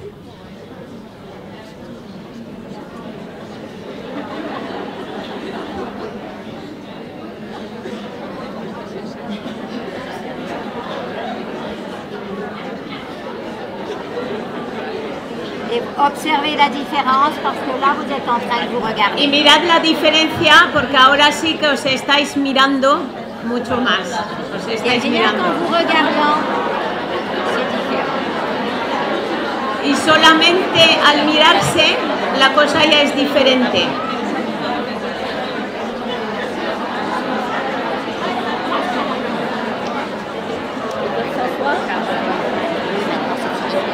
Podéis sentaros. Une autre chose qu'on peut enseigner à un enfant de 8-9 ans, Eh, otra cosa que podemos enseñar a un niño de 9 años Ça, le- ce qu'on vient de faire, c'est la respiration pour trouver sa sécurité Entonces, intérieure. la- lo que acabamos de hacer es la respiración para encontrar la seguridad interior. En revanche, pour calmer une réaction de En stress cambio, trop forte, para, para calmar una reacción de estrés demasiado fuerte, quand on est trop énervé, cuando estamos demasiado nerviosos, on a intérêt à souffler. Tenemos que soplar. Et donc, on peut entraîner l'enfant avec une paille. Entonces podemos entrenar al niño con una paja. Une paille avec un verre d'eau. Una pajita con un vaso de agua. Ils adorent ça. Les encanta. On enseigne aux enfants à souffler. Depuis qu'ils sont tout petits, on peut leur enseigner à souffler. Les, ensa- les enseñamos a soplar desde que son muy pequeños. On leur enseigne à souffler. Ensuite, on leur montre. Se les enseña a soplar, Et luego donc, les, euh, les enseñamos. On s'énerve et, euh, par Pero exemple, al enseñar nos ponemos nerviosos. on utilise un moment où on est énervé. Donc, par exemple, Entonces, on raccroche le téléphone. Eh, on dit oh, un momento en que estamos nerviosos. ah, cet ami m'énerve eh, colgamos el teléfono, por ejemplo. Ay, este amigo, qué pelma. Je vais souffler. Voy a soplar. Et on le dit à haute voix Y lo decimos en voz alta. et on le fait. Y lo hacemos. Est-ce que ah, je suis encore énervée, je ressouffle. Todavía estoy nervioso, vuelvo a soplar. C'est-à-dire que on montre comment on utilise la technique à Entonces l'enfant. enseñamos al niño cómo utilizamos la técnica. On peut aussi compter, También podemos contar, compter de 10 jusqu'à 0. contar de 10 a 0. On peut faire toutes sortes de choses, on peut nommer nos sensations. Podemos hacer toda clase de cosas, nombrar nuestras sensaciones. Mais ce qui est très important, c'est que les enfants n'apprendront vraiment que si nous leur montrons. Pero lo que es muy importante es que los niños solo aprenderán si les enseñamos. Et donc si on leur montre comment on le fait. Entonces si le les enseñamos cómo lo hacemos en la realidad. Pour un enfant de 9-10 ans, ça va suffire, Para un niño de 9-10 años será suficiente, la plupart du temps. la mayoría de las veces. Pour des enfants plus petits, on va faire plus progressif. Para niños más pequeños habrá que hacerlo de manera más progresiva. Après avoir enseigné à souffler et avoir montré comment on Después de l'utilise, enseñar a soplar y después de haber enseñado cómo lo hacemos nosotros mismos, en jouant avec les peluches, jugando con los peluches, il y a le lapin qui est très énervé. mira qué nervioso está el conejito. Alors le lapin, il souffle. Entonces el, el conejo sopla. On profite de tas de situations avec des Entonces, marionnettes, buscamos avec euh, situaciones petits- con marionetas, etc. con muñecas, pour euh, etcétera, mettre en scène para po- poner en escena l'utilisation de l'outil, la, la utilización de la herramienta, de la technique de la en técnica situation de stress. en situación de estrés. Et ensuite, quand on voit l'enfant commencer à s'énerver, commencer à s'énerver. Cuando vemos que el niño empieza a ponerse nervioso, entonces empezamos a ponernos nerviosos. On pourra juste lui dire souffle Le podremos decir simplemente sopla et il pourra le faire. y podrá hacerlo. Il faudra lui rappeler quelquefois A veces habrá que recordarle et puis ensuite, il pourra le faire y seul. On luego peut lo aussi hacer jouer. solo. On jouerait à être énervé. On También joue, podrem- on podemos joue à ce jugar, que je ¿no? sois furieux contre Eh, toi. Vamos a jugar a estar nerviosos y furiosos. Et on joue à souffler. Y jugamos a soplar. C'est-à-dire qu'on s'entraîne. Entonces ent- nos entrenamos. Trop souvent, nous voulons que nos enfants se calment. Demasiado a menudo queremos que nuestros hijos se tranquilicen. Déjà, nous, on a du mal, Ya nos cuesta a nosotros, mais nous, on leur enseigne même pas comment faire. pero ni siquiera les enseñamos cómo tienen que hacer para tranquilizarse. Nous ne pouvons pas attendre de nos Entonces enfants no qu'ils découvrent tout seuls Esperar de ellos que encuentren solos la técnica. Et si nous utilisons cette technique d'enseignement si progressive, Esa técnica de enseñanza de esa manera progresiva nous serons souvent surpris. D'entendre- sorprenderá a menudo Un tout petit de 3 ans dire à l'autre à la crèche escuchar como un niño de tres años le dice a otro en la guardería, Souffle sopla, sopla. Et ça nous mène directement à cette classe de Es- 3-5 y esto no- nos conduce directamente a esta clase de 3 a 5 años sur les conflits dans la classe. sobre los conflictos en la clase. Il y a aussi les conflits à la maison, dans la fratrie. También hay conflictos en casa entre hermanos. Chaque conflit est une occasion de développer des compétences Cada sociales. conflicto es una ocasión para desarrollar competencias sociales. Les techniques d'autocontrôle, ce sont des techniques de, de régulation Las émotionnelle. técnicas de autocontrol son técnicas de regulación emocional. Alors déjà, si on a enseigné ces techniques d'autocontrôle émotionnel aux enfants, Entonces, si ya hemos enseñado esta- esas técnicas de autocontrol eh, a los niños, et on peut enseigner ça même dans les classes, eso se puede enseñar también en las aulas. c'est génial à enseigner ça. Es dans les genial enseñar eso. On a déjà gagné beaucoup de choses. Hemos eh, que, ganado, ya adelantado muchas cosas. en fait, on va souvent se battre avec les autres parce qu'on n'arrive pas à gérer son, Porque a menudo son uno se émotion. pega con otro porque no sabe gestionar su propia emoción. Donc, si les enfants savent s'autocontrôler, Entonces, si los niños saben autocontrolarse, s'ils savent mettre des mots sur leur vécu, si saben poner palabras sobre lo, lo vivido, ils vont avoir moins tendance à rentrer en conflit. no tendrán tanta propensión a entrar en conflicto. Ils vont savoir dire je suis fâché Sabrán decir, estoy enfadado ou alors j'ai peur o tengo miedo, à la place de euh, connard. en vez de tonto. Ha dicho otra cosa. Donc, le, quand vous avez dit connard, il y a un- une, une insulte très grosse en espagnol, alors je, je l'ai dit plus doux, mais j'ai dit elle est la blonde. mais moi je l'ai dit seulement parce que personne ne comprend. Pero ella lo ha dicho porque nadie lo entendía. Bref, mais les enfants le disent. Pero los niños lo dicen. Lo que yo no Les enfants le disent parce que. Donc, euh, donc je peux enseigner d'abord aux enfants Entonces, puedo enseñar primero a los niños beaucoup de choses sur muchas cosas qu'est-ce que je ressens qué es lo que siento et comment je l'exprime. y cómo lo expreso. On peut aussi leur enseigner des techniques de gestion de conflits. También se les puede enseñar técnicas de gestión de conflictos. On peut leur enseigner à s'écouter les uns les Se autres. les puede enseñar a escucharse unos a otros. Alors notre défaut à nous les adultes, Entonces, nuestro, el defecto nuestro, de los adultos, c'est qu'on a tendance à vouloir enseigner en plein milieu de la bagarre. es el querer enseñar en medio de una pelea. Donc, il y a un conflit Hay un conflicto, et en plein milieu du conflit, les deux sont en train de en se medio battre. del conflicto se están pegando, Là, on leur explique ahí les estamos explicando comment il faut faire pour cómo pas se battre, tienen que etc. hacer para tal y cual. Écoute les sentiments de l'autre. et Mira, compagnie. escucha al otro, sus Et là, ils sont en train de se battre. Pero se están pegando. C'est pas le bon moment. No es el momento, claro. Au moment de la bagarre, je donne juste de l'ocytocine. En el momento de la pelea, yo doy oxitocina. Et à d'autres moments, j'enseigne. Y en otros momentos, enseño. On peut faire des cercles de parole. Se pueden hacer círculos de palabras où chaque enfant exprime ce qu'il a en los que à l'intérieur de lui, cada dans son uno expresa lo que siente, lo que tiene dentro del corazón, où on apprend à dire, mettre les mots sur nos sensations, donde aprendemos a poner, a dar, a poner palabras a las sensaciones. Et où on peut commencer à aussi discuter. Y también ahí podemos empezar qu'est-ce que je fais quand euh, a hablar, je veux être le premier sur le toboggan. ¿Qué hago cuando quiero ser el primero en subirme al tobogán?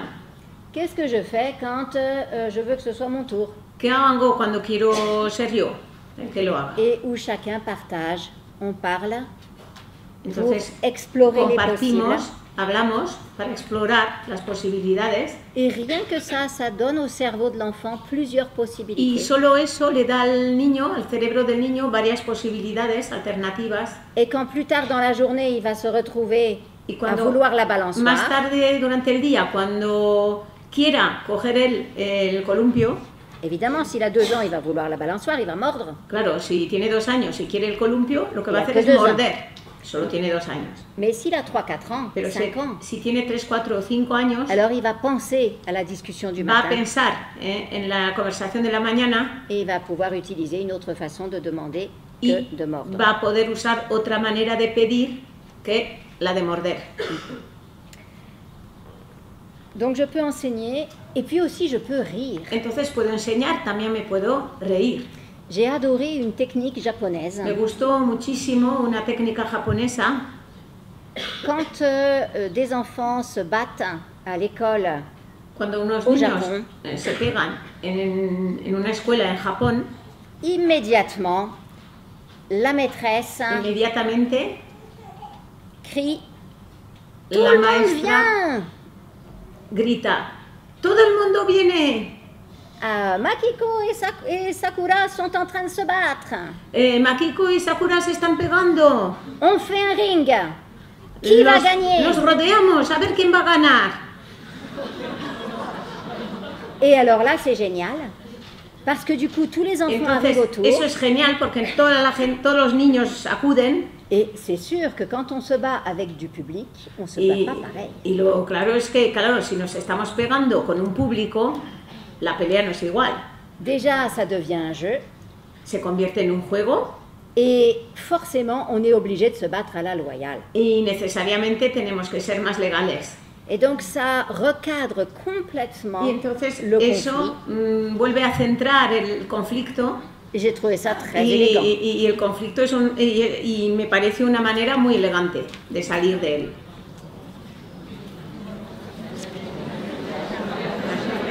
On est trop sérieux, nous. Somos demasiado serios. Oh, je sais pas qu'est-ce qui se passe là. Oui, euh, il il parle de la. de ça. Ils en parlent. Je pense qu'ils discutent. Peut-être peut-être une grande question. peut-être, euh, technique. Il se voit mal. Allez-y, allez-y.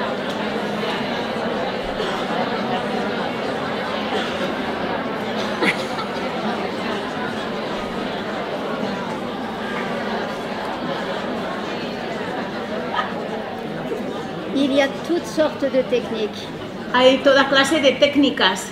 Ce qui est intéressant, c'est de voir un peu ce qui se passe dans le reste du monde Lo interesante es ver qué pasa en otras partes del mundo et de voir qu'il y a toutes sortes de façons y différentes. ver que hay eh, diferentes maneras.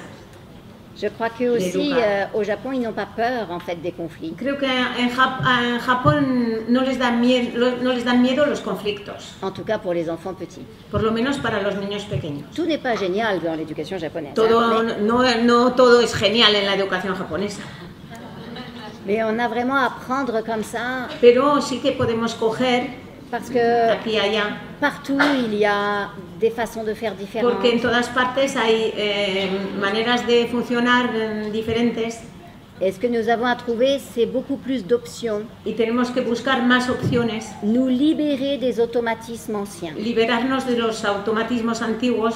Nous sommes pleins d'automatismes Estamos llenos de automatismos appris dans notre que culture, dans notre aprendimos en, nuestra cultura, en nuestra historia, et nous avons tendance à réagir Y face à une chose de la même façon a reaccionar eh, frente a algo siempre de la misma manera. Et regardez qu'ailleurs dans le monde, les gens se comportent Y différemment. el, y el comprobar que en otras partes del mundo la gente se porta de manera diferente, pues es muy enriquecedor. À quelle heure vous couchez les enfants, vous, le soir en Espagne? ¿A qué hora lleváis a los niños a la cama en- aquí en España? ¿A qué hora se van a la cama? Quand quelle ils heure? peuvent, quand ils peuvent. 9 heures. ¿Las nueve? Voilà. 9 heures pour un Français, c'est trop tard. Para un francés las nueve es muy tarde. En France, c'est 8 heures. En Francia es a las ocho. Dans d'autres pays, c'est 6 heures. En otros países a las seis. Ils demandent à quelle heure ils se lèvent en France. En France, ils se lèvent à 7 heures. Se levantan a las siete. Aquí a las ocho. Et en, en Argentine, ils se couchent à 11 heures. Dice que en Argentina se van a la cama a las once. En fait, c'est extrêmement variable selon les pays Esto quiere decir que es muy variable según los países et c'est culturel y es cultural et pas forcément adapté aux besoins des y enfants. no necesariamente adaptado a las necesidades de los niños. C'est pour ça qu'en Argentine, ça fonctionne quelquefois mieux parce qu'il y a beaucoup d'enfants dont la mélatonine est sécrétée que vers 10 porque heures. la melatonina Es eh, eh, se que vers 10 secreta heures. hacia las 10 de la noche. Et en tout cas pour les enfants de moins de 6 ans. Entonces, para los niños de menos de 6 años, Et les parents français ont beaucoup de mal à coucher leurs enfants à 8 heures Y a los padres franceses les cuesta mucho meter a sus hijos en la cama a las 8 de la tarde, parce que c'est tout simplement pas adapté à la nature simplemente porque eso no está adaptado a la naturaleza de los niños. Donc quelquefois on essaye de faire rentrer un enfant Entonces, a veces intentamos Dans que le cadre niño culturel. entre en nue- nuestro marco cultural c'est pas forcément adapté. y no, eso no está necesariamente adaptado. Et donc nous sommes aujourd'hui à une période absolument magique Entonces, estamos hoy en día en un momento mágico parce que la science nous apporte des informations qu'on porque la n'avait pas. ciencia nos aporta información que antes no teníamos. Maintenant, on découvre que donc ah, la mélatonine elle Ahora, est sécrétée chez un ejemplo, enfant de descubrimos que 3 ah, ans, la sécrétée se secreta en un niño de 3 21 años, por 22 ejemplo, heures. pues hacia las 10 de la noche. Quand l'enfant a 7 ans, la A los- mélatonine a los est sécrétée años, vers 19h, Se 20h. secreta más bien hacia las 7, 8 horas de la tarde. Quand il a 13 ans, elle se redéplace A de los 2 13 heures. años otra vez se desplaza dos horas más tarde. Et du coup, on comprend pourquoi. Y entonces entendemos por qué C'est difficile de coucher es tan un difícil enfant meter a la de 3 cama a un ans, niño de 3 años, que c'est très facile de coucher un enfant de 7 que es ans mucho más fácil acostarlo a los 7 años et que les enfants de 13 ans veulent pas dormir non plus. y que a los 13 años tampoco se quieren ir pronto a la cama. Donc voilà, on est à une période charnière Entonces estamos en un momento bisagra on peut comprendre mieux ce qui se passe dans le en el que de podemos enfants. entender mejor qué es lo que está pasando en el cerebro de los niños. C'est sûr que ça nous demande de nous adapter drôlement. Está claro que eso mm, eh, necesita que nos adaptemos mucho Et en même temps, c'est pour être tous beaucoup plus heureux y al mismo tiempo es para que todos seamos más felices juntos. Parce que finalement, donner des punitions à nos enfants, se Porque al, battre al contre fin y al cabo, castigar a nuestros hijos, Se pelearnos fâcher con ellos, enfadarnos con ellos, se fâcher contre leurs caprices, contra sus rabietas, tout ça, ça nous fatiguait beaucoup. todo eso nos cansaba mucho. Et quand on, a, on va avoir un enfant, ou quand on veut s'occuper d'enfants Y professionnellement, queremos, tenemos, queremos tener un niño o cuidarlo eh, profesionalmente, on rêve de relations, on rêve soñamos con, con buenas relaciones, con, con el amor, et puis on se retrouve souvent dans la bagarre y permanente. luego nos encontramos en la, en la pelea continua. Et donc cette nouvelle façon de regarder l'enfant Entonces, esta nueva manera de mirar al niño nous permet à tous d'être plus heureux les uns avec les autres. permite que nos deja ser a todos más eh, felices, Moins fatigués, menos cansados. mais on est quand même un peu fatigués, donc on va s'arrêter maintenant. Y aún y todo, pero bueno, estamos aún y todo un poco cansados y por eso lo vamos a dejar Parce ahora. qu'on m'a demandé de garder un peu de temps pour pouvoir vous signer les Porque livres. vamos a quedarnos un poco más de tiempo si queréis eh, que firme y dedique los libros. Et donc je vais m'installer là-haut. Entonces va a- vamos a ir a una mesa allí arriba para los que estén interesados. Merci beaucoup pour votre.